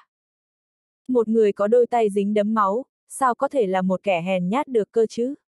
Nhưng cho dù là vậy, Hisanaen cũng không thể so sánh với người đàn ông trước mặt. Kiểu giết người dứt khoát này vượt qua nhận thức của cô ta. Đặc biệt là câu nói vừa rồi của Tiêu Chính Văn, đã áp đảo tuyến phòng phủ tâm lý cuối cùng của cô A. So với những đối thủ mà cô ta gặp trước đây, Tiêu Chính Văn là một tên ác ma không gì sánh bằng. Hai, tôi còn chưa kịp khởi động, cô ta sợ đến mức ngất xỉu luôn rồi hả? Thật nhàm chán, Tiêu Chính Văn khế thở dài. Chưa kịp khởi động hả? Tiêu Chính Văn vừa dứt lời, con chiến mã không đầu của Hisanaen sợ đến mức tung vó lên không trung, hất Hisanaen xuống đất rồi bỏ chạy. Trong nháy mắt, ngay cả thú cưỡi của Hisanaen cũng biến mất không thấy tăm hơi. Máu tươi ướt đâm mặt đất, chỉ còn lại một mình Hisanaen nằm trong dòng sông máu. chương 4741 lúc này, trên ngọn đồi cách đó nghìn km, một ánh mắt nhìn thẳng về phía núi tuyết. Cùng lúc đó, một luồng sáng bừng lên, tuyên bố sự thất bại hoàn toàn của Hisanaen. Trong chốc lát, cả âm phủ đã trở nên náo loạn. Đầu tiên là AB Seimei, sau đó đến Hisanaen. Chỉ trong một ngày ngắn ngủi, hai cao thủ hàng đầu đã bị đánh bại, đây là tin tức lớn nhất âm phủ trong nghìn năm qua. Tin tức này khiến tất cả mọi người vô cùng kinh ngạc. Đặc biệt là những nhân vật lớn ở ẩn cũng chấn động bởi tin tức này. Âm, một tiếng sét lớn vang lên, vô số ánh sao vô tận chiếu xuống âm phủ. Một số nhân vật lớn ẩn cư ngàn năm cũng kinh hãi, vì vậy bọn họ không ở ẩn nữa mà đến xác minh chuyện này. Lẽ nào người này định tàn sát 10 vị cao thủ hàng đầu sao? Trong một ngày đã lần lượt đánh bại hai vị cao thủ, thực lực này thật đáng sợ. Từ khi nào mà âm phủ chúng ta lại có một thiên tài như vậy? Lúc này, mọi người bắt đầu bàn tán xôn xao. Ban đầu, AB Seimei bị đánh bại, bọn họ không quan tâm lắm, vì dù sao AB Seimei cũng chỉ là một con chó đối với Hoa Quốc. Nhưng Hisanaen thì khác, cô ta đã từng đánh bại hàng triệu âm binh của âm phủ, vậy mà bây giờ cô ta cũng bị đánh bại, chuyện này là điều bọn họ không tưởng. Không ngờ Hoa Quốc chúng ta lại xuất hiện một nhân vật như vậy. Bảo các người đi điều tra thân phân của cậu ta, đã có tin tức gì chưa? Vì vậy, sở Giang Vương vô cùng sốt ruột, cao giọng hỏi. Tuy nhiên, chỉ có sự im lặng chết chóc trả lời ông ta. Tất cả mọi người lặng lẽ cúi đầu, nếu không phải sở Giang Vương hạ lệnh, thì có lẽ cho tới bây giờ bọn họ đều không chú ý tới nhân vật bí ẩn kia. Sở Giang Vương, gần đây chúng ta tập trung quá nhiều vào tả Phượng Kiều và Tiêu Chính Văn ở giới thế tục, nên không để ý đến chuyện âm phủ. Vì vậy, trước mặt sở Giang Vương, một ông lão lau mồ hôi lạnh, run giọng nói. Âm phủ xuất hiện hiện một nhân tài, nhưng bọn họ lại không biết gì về người này, đây là không làm tròn bổn phận. Nếu sở Giang Vương nổi giận thì rất có thể sẽ ném bọn họ xuống 18 tầng địa ngục, vĩnh viên không thể ra ngoài. chương 4742 bây giờ cậu ta đang ở đâu? Sở Giang Vương lạnh lùng hỏi. Hình như, hình như là đến đổi ước cự rồi. Ông lão nhỏ giọng nói. Cái gì? Ông nói hình như, sở Giang Vương bật dậy, tiến đến trước mặt ông lão kia, vươn tay nắm lấy cổ áo ông lão, tức giận nhìn chăm chăm khuôn mặt tái nhợt của ông lão. Vâng, vâng, người này hành tung bất định, chúng tôi. Hừ, các người thật vô dụng. Sở Giang Vương tức giận quát lớn, ném ông lão kia ra ngoài.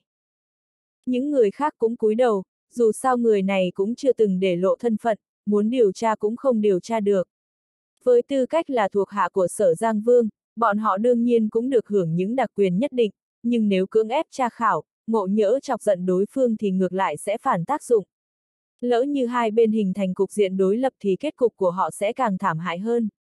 Tất cả nghe rõ đây, dù phải trả cái giá thế nào, cũng nhất định phải lôi kéo người này băng được, sở Giang Vương nói đến đây, một đôi mắt hổ quét qua mặt mọi người. Tuy chỉ là một câu nói nhưng lại rất có trọng lượng. Toàn bộ âm phủ, âm tư trên danh nghĩa là người lãnh đạo tất cả, thập điện Diêm Vương đều đã rút lui, nhưng sức mạnh và nền tảng của thập điện Diêm Vương vẫn còn đó. Dù âm tư ngày nay cũng không dám coi thường sự tồn tại của sở Giang Vương. Ở một diễn biến khác, trong thánh giáo đình vùng ngoài lãnh thổ, vẫn là ông lão lần trước đến bên cạnh tả Phượng Kiều, thì thào nói cô chủ, Hisanaen cũng bị đánh bại rồi. Ông ta vừa dứt lời, tả Phượng Kiều không thể giả vờ bình tĩnh được nữa. ABC Mây người đứng đầu ở Vi Hào có lẽ vẫn e sợ áp lực của các bên ở âm phủ nên không dám sử dụng toàn bộ sức mạnh của mình, nhưng Hisanaen thì khác. Cô ta đã từng đánh lùi hàng triệu binh lính của âm phủ, cũng có thể nói, người phụ nữ này là sự ồn tại duy nhất trong toàn bộ Âu lục dám ngồi ngang hàng với âm phủ. Nên chắc chắn sẽ không nương tay với người thần bí Kyo hơn nữa, cô ta biết rõ thực lực thật sự của Hisanaen cực kỳ khủng bố, tuy rằng sát chiêu của Hisanaen là quân đoàn chết chóc không giới hạn nhưng đây cũng là sát chiêu đáng sợ nhất trong toàn bộ âm phủ. Nghĩ đến cảnh tượng một người bị hàng trăm triệu quân chết chóc đáng sợ vây kín tấn công, ngay cả da đầu của tả Phượng Kiều cũng cảm thấy tê dại. Chưa kể còn bắt cô ta đối mặt trực tiếp với đội quân chết chóc đáng sợ lần này, trên mặt tả Phượng Kiều cuối cùng lộ ra vẻ kinh ngạc, người này đến từ Hoa Quốc sao? Anh ta là một thanh niên trẻ tuổi thật à? Thực ra, điều mà tả Phượng Kiều thực sự muốn hỏi là vế sau. Bởi vì trong số các nhân vật xuất chúng thế hệ trước đang ở ẩn, những người muốn giết Hisanaen không hề hiếm chương 4743 nhưng âm phủ cũng có quy tắc riêng, nếu thế hệ trước tùy tiện nhúng tay vào việc của âm phủ thì khó đảm bảo sẽ không khơi mào một cuộc hỗn chiến. Một khi sự cân bằng được hình thành, kẻ nào dám tự ý phá vỡ nó thì e sẽ bị mọi thế lực kết hợp tấn công.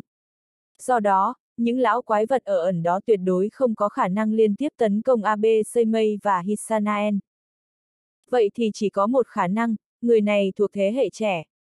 Nhưng từ bao giờ một người đàn ông trẻ tuổi đáng sợ như vậy lại xuất hiện ở âm phủ của Hoa Quốc theo người bên dưới bẩm báo, tên này quả thật là một người trẻ tuổi. Hơn nữa AB Seimei thậm chí còn nói, căn cốt của tên này chỉ mới 30 tuổi mà thôi, ông lão cung kính đáp. Ô, nghe thấy vậy, đôi mắt tả phượng kiều lóe sáng. Người như vậy chẳng phải là người chồng rong mộng của cô ta sao? Thật ra từ trước đến nay, cô ta vẫn luôn muốn tìm một người xứng đôi vừa lứa với mình, nhưng chỉ tiếc là cả vùng ngoài lãnh thổ hoàn toàn không có ai lọt vào mắt của cô Tết người duy nhất đủ tư cách làm người kết duyên với cô ta chỉ có người trên đồi ước cự kia, nhưng tiếc là danh tiếng của người này quá tệ. Tất cả mọi người trong âm phủ đều biết người này gian xảo, ích kỷ, lòng dạ độc ác, thậm chí những ngôn ngữ của thế gian đều không đủ để diễn tả sự vô liêm sỉ của hắn. Nếu không, dân tộc lưu lạc hơn 2.000 năm cũng sẽ không mất tích không còn dấu vết như vậy. Cô ta đường đường là con gái của tả Bạch Đào, sao có thể gả cho loài súc sinh không bằng con chuột như hắn chứ? S tuy nhiên, khi nghe tin tiêu chính văn đã liên tiếp đánh bại AB Seimei và Hisanaen trong một ngày, cô ta dường như lại nhìn thấy hy vọng. Chỉ có người như vậy mới có thể lọt vào mắt của cô ta. Cùng lúc đó, trong cung thành hoàng của tả Bạch Đào, một ông lão tóc trắng chậm rãi bước ra người này là một trong những quân sư của tả Bạch Đào, trận quyết chiến giữa tả Phượng Kiều và Tiêu Chính Văn cũng do ông ta lên kế hoạch. Sắp tới mấy người nhất định phải chú ý tới nhân tài mới nổi đó. Nếu có thể, tốt nhất hãy lôi kéo người này về phía mình, ông lão quay đầu nói với mấy tên tay sai bên cạnh. Việc cấp bách nhất của chúng ta lúc này không phải là trận đấu với tiêu chính văn sao, một trong những người đàn ông trung niên cân nhắc một lúc mới khó hiểu hỏi. Chuyện đó có thể gác lại sau, kết cục của trận chiến này thực ra ngay từ đầu đã được định đoạt, không có gì đáng để tâm cả. Ông lão vuốt râu và nói với vẻ mặt ngạo nghễ. chương 4744 đây là âm phủ, là thiên hạ của âm tư, lý do tại sao tả bạch đào không đích thân quyết chiến mà lại bảo con gái của mình ra tay là để hoàn toàn đập tan ý định chống cự của vùng ngoài lãnh thổ dù tiêu chính văn bất ngờ đánh thăng cũng đừng hòng sống sót rời khỏi âm phủ. Đây không chỉ là ý của tả bạch đào, mà ngay cả âm tư và thập điện Diêm Vương cũng đều gật đầu đồng ý. Do đó, chỉ cần tiêu chính văn dám tới thì chỉ có một kết quả liệu Điền Kỳ có đồng ý không? Tuy rằng tiêu chính văn xuất thân từ thế tục, nhưng suy cho cùng hiện tại hắn là người của vùng ngoài lãnh thổ. Hơn nữa Điện Thần Long đã cảm dễ sừng sững ở vùng ngoài lãnh thổ rồi. Nếu chúng ta hành động như vậy, ngộ nhỡ bên phía Điền Kỳ truy cứu thì e rằng sẽ có thêm phiền phức. Người đàn ông trung niên cau mày hỏi, tiêu chính văn đến từ giới thế tục đã không còn là bí mật gì nữa, nhưng lúc này tiêu chính văn đã đạt tới cảnh giới thiên cảnh, nói cách khác, cho dù tiêu chính văn có hậu thuần nào từ vùng ngoài lãnh thổ hay không, thì bây giờ anh cũng đã trở thành một thành viên của vùng ngoài lãnh thổ hơn nữa còn là một thành viên trong hàng ngũ lãnh đạo cấp cao của vùng ngoài lãnh thổ. Âm phủ cũng không dám tùy ý chém giết những người như vậy. Nếu thật sự chọc giận vùng ngoài lãnh thổ, dẫn đến việc thế lực các phương từ bỏ chiến trường ngoài vũ trụ, toàn lực trở về chém giết thì cũng là một rắc rối lớn cho âm phủ. Ha ha, kế hoạch này cũng là do Điền Kỳ tự mình nghĩ ra. Ông cho rằng ông ta sẽ phản đối chính mình sao? Ông đừng quên, năm đó nhà họ Điền cướp thiên hạ của nhà họ Khương. Huống hồ, chỉ cần là người thuộc nhánh nhà họ Khổng thì luôn có thói quen tốt đẹp là ăn cây táo rào cây sung. Vì vậy, kết cục của trận chiến này về cơ bản đã được định đoạt. Ông lão nói đến đây thì lại ngửa mặt phá lên cười. Lúc người đàn ông trung niên còn muốn nói gì đó, đột nhiên, một giọng nói lạnh lùng truyền đến. Tiếp chiến, giọng nói này vang vọng toàn bộ âm phủ trong chốc lát. Hả, ông lão đó nghe thấy giọng nói này thì không khỏi hít sâu một hơi. Tuy rằng nhân phẩm của người này cực kém, nhưng thực lực lại rất mạnh. Chẳng lẽ nhân vật thần bí đó lại đến tìm người này rồi sao? Tuy rằng ông lão đã đoán được tiêu chính văn sẽ không bao giờ dừng lại ở Hisanaen, nhưng không ngờ tất cả chuyện này lại xảy ra nhanh như vậy.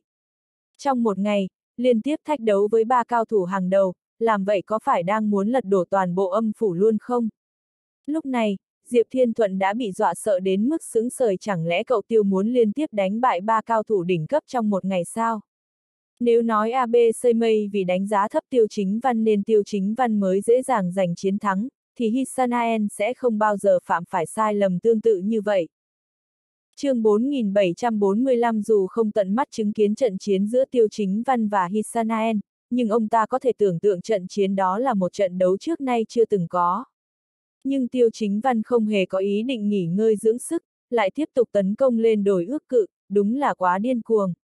Mà người ở trên đồi ước cự đó cũng là kẻ thần bí nhất trong âm phủ. Không ai biết thực lực thật sự của người này, cũng không ai muốn đến gần hẳn, có thể nói hắn là tên cặn bã khét tiếng của âm phủ, cũng là đồ tể hung ác của âm phủ. Và lại, bản thân Juda cũng là kỳ tài số một đã diệt trừ những lão quái vật ẩn danh ở Hoa Quốc.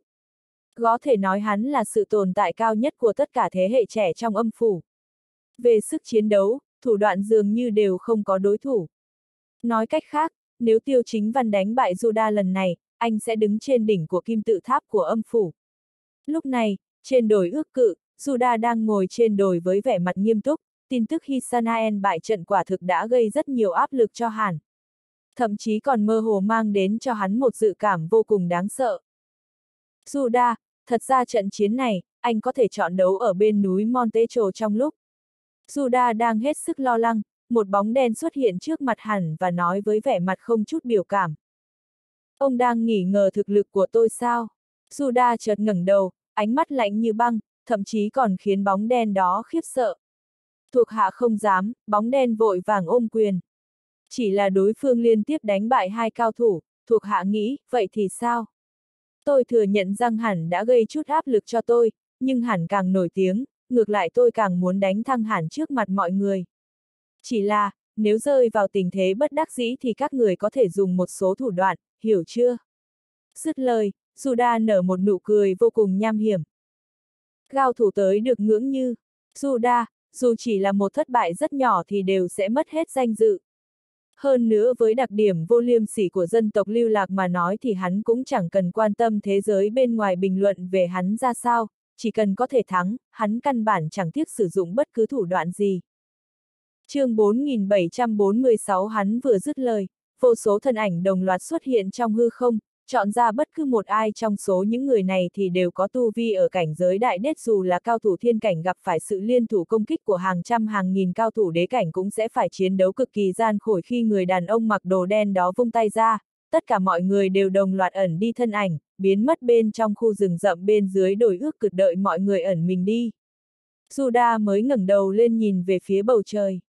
Tiêu chính văn tiến từng bước lại gần, Juda đột nhiên vung tay, một chiếc hòm dao ước khổng lồ lao thẳng về phía tiêu chính văn. Hai người căn bản không có bất cứ lời nói dư thừa nào và đã ra tay luôn. Khí tức mạnh mẽ giống như sóng nước, tất cả mọi thứ xung quanh đều bị cỗ khí tức này bao trùm lấy. Ngay cả vầng thái dương trên không trung cũng như thể bị một tầng sương mù che phủ. Chiếc hòm dao ước khổng lồ đó đột nhiên phát ra ánh sáng chói mắt, mang theo sát khí ngất trời lao thẳng về phía chân trời. Suda lúc này lại giống như hòa vào làm một với trời đất ở nơi này, như thể ý chí của hắn chính là ý chí của đất trời.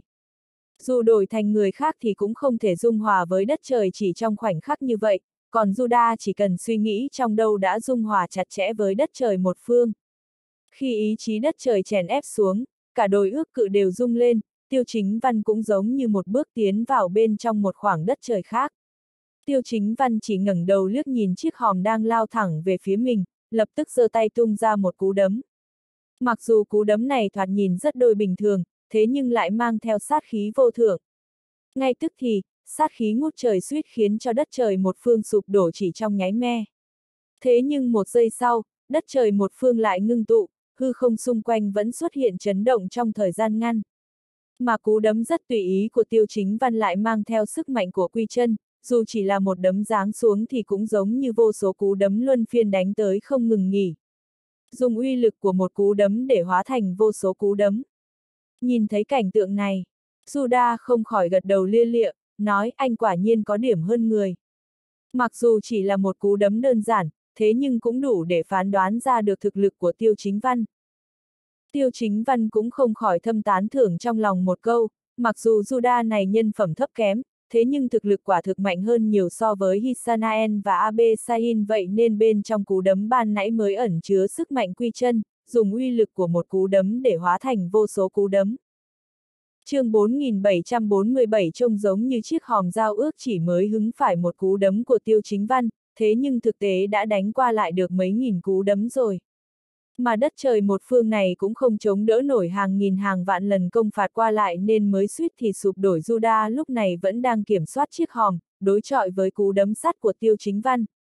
Mặc dù hẳn cũng hết sức kinh ngạc trước chiến lực của tiêu chính văn, thế nhưng lại không có bất cứ ý định thu tay nào, hắn đã không còn đường lui, đồng thời, tiêu chính văn giờ cũng chỉ có thể thăng chứ không được phép bại.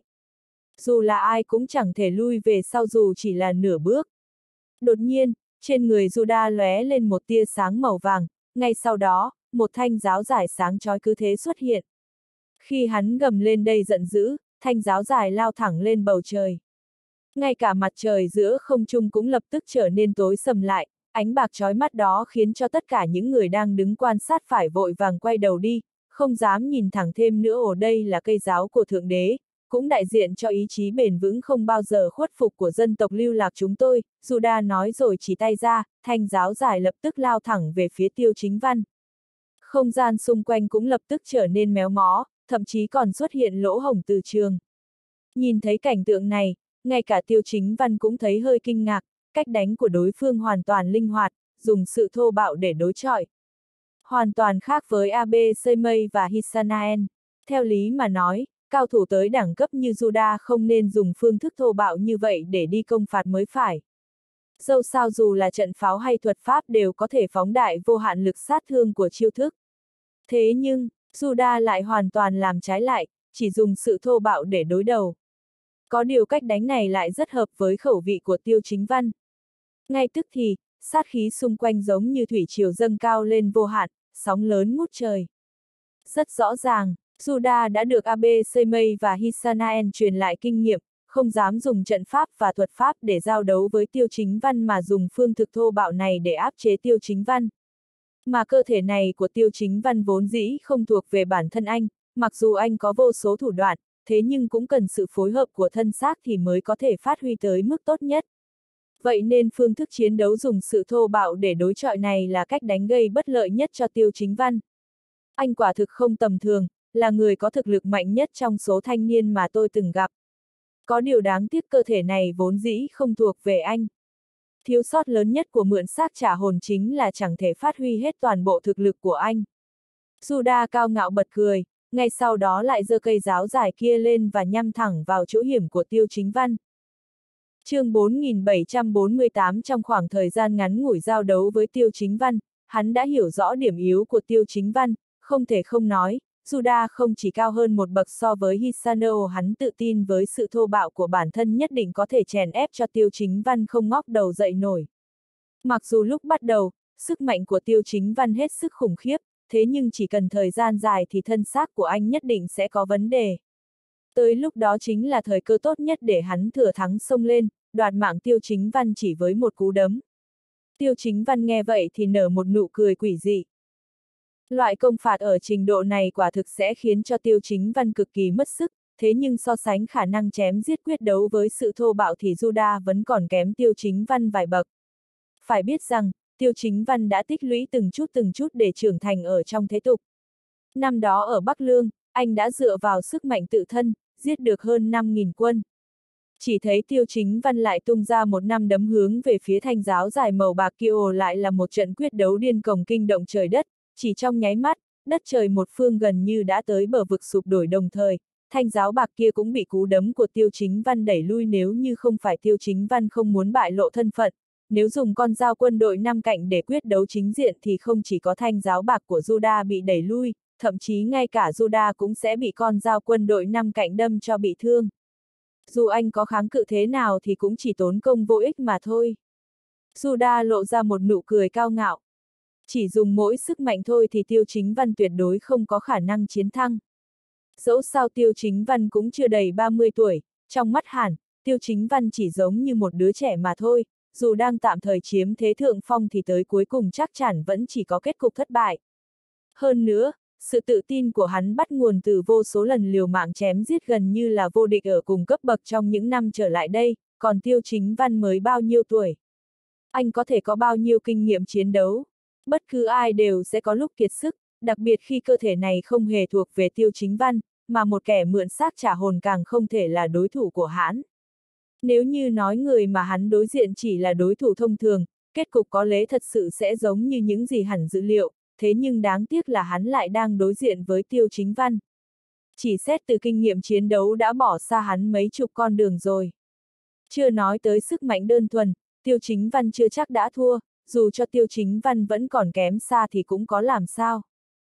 chương 4749 cả chặng đường đi qua, có lần nào tiêu chính văn không chém giết ngược dòng, có lần nào không phải trải nghiệm vô số trận chiến đấu gian khổ. Càng quan trọng hơn là tiêu chính văn đã lĩnh hội được chân lý của quy chân từ lâu, sự thô bạo mà Juda sử dụng, đối với tiêu chính văn mà nói chỉ là đồ cao cấp dùng để bồi dưỡng đơn thuần mà thôi. Bởi vì sức mạnh cũng là một loại thể hiện của từ trường trong thế giới này chứ không phải phát ra từ trong xác thịt. Nếu không thì sẽ không có nhiều cao thủ có thể chỉ dùng một ngón tay cũng khiến cho núi đồi sụp đổ như thế mà cơ thể này của hạo thiên gột rửa hàng trăm năm bên trong huyết ô trì, thứ thiếu hụt nhất chính là sức mạnh tự thân. Khoảnh khắc này, tiêu chính văn chỉ hừ một tiếng, sau đó giơ tay lên, một lực hút cường đại, đột nhiên phát ra. Sức mạnh của Suda cũng giống như nước hồ vỡ đê, điên cuồng đổ dồn về phía tiêu chính văn. Cảnh tượng này không khỏi khiến cho Juda kinh ngạc. Thế nhưng ngay sau đó, trên mặt hắn lại nở một nụ cười đắc ý. Sức mạnh của mỗi người đều có thuộc tính khác nhau, tiêu chính văn hấp thu sứ mạnh của bản thân một cách không kiêng nể gì như vậy sẽ chỉ khiến cho anh gặp phải rắc rối lớn hơn. Và lại, hẳn có cảnh giới tu ví thế nào, mà cơ thể kia của tiêu chính văn thì có cảnh giới tu vi ra sao. Dù Juda không có chút phản kháng nào, để mặc cho tiêu chính văn hấp thu thì tới cuối cùng tiêu chính văn cũng sẽ chỉ còn nước bỏ mạng mà thôi. Thế nhưng ngay khoảnh khắc sau, Juda đột nhiên kinh ngạc, cũng phát giác ra tính nghiêm trọng của vấn đề. Không thể nào, anh, anh lĩnh hội được quy chân rồi ư, hai mắt Juda thất thần nhìn về phía tiêu chính văn, không kiềm chế được mà lên tiếng hỏi. Cơ thể xác thịt này của Hạo Thiên đã được tiêu chính văn cải tạo từ lâu, lúc này càng giống như một cái động không đáy điên cuồng hấp thu sức mạnh bên trong cơ thể Juda. Vào khoảnh khắc Juda vẫn còn đang kinh ngạc, tiêu chính văn đột nhiên tiến lên một bước, đi tới phía trước. Juda, giơ tay túm lấy tóc hắn. Sức mạnh bên trong cơ thể. Juda giống như nước lũ đổ ào, càng thêm điên cuồng chảy vào bên trong cơ thể tiêu chính văn. Anh, để tôi xem anh còn có thể hút được bao nhiêu, Juda nghiến răng, phân nộ nhìn tiêu chính văn.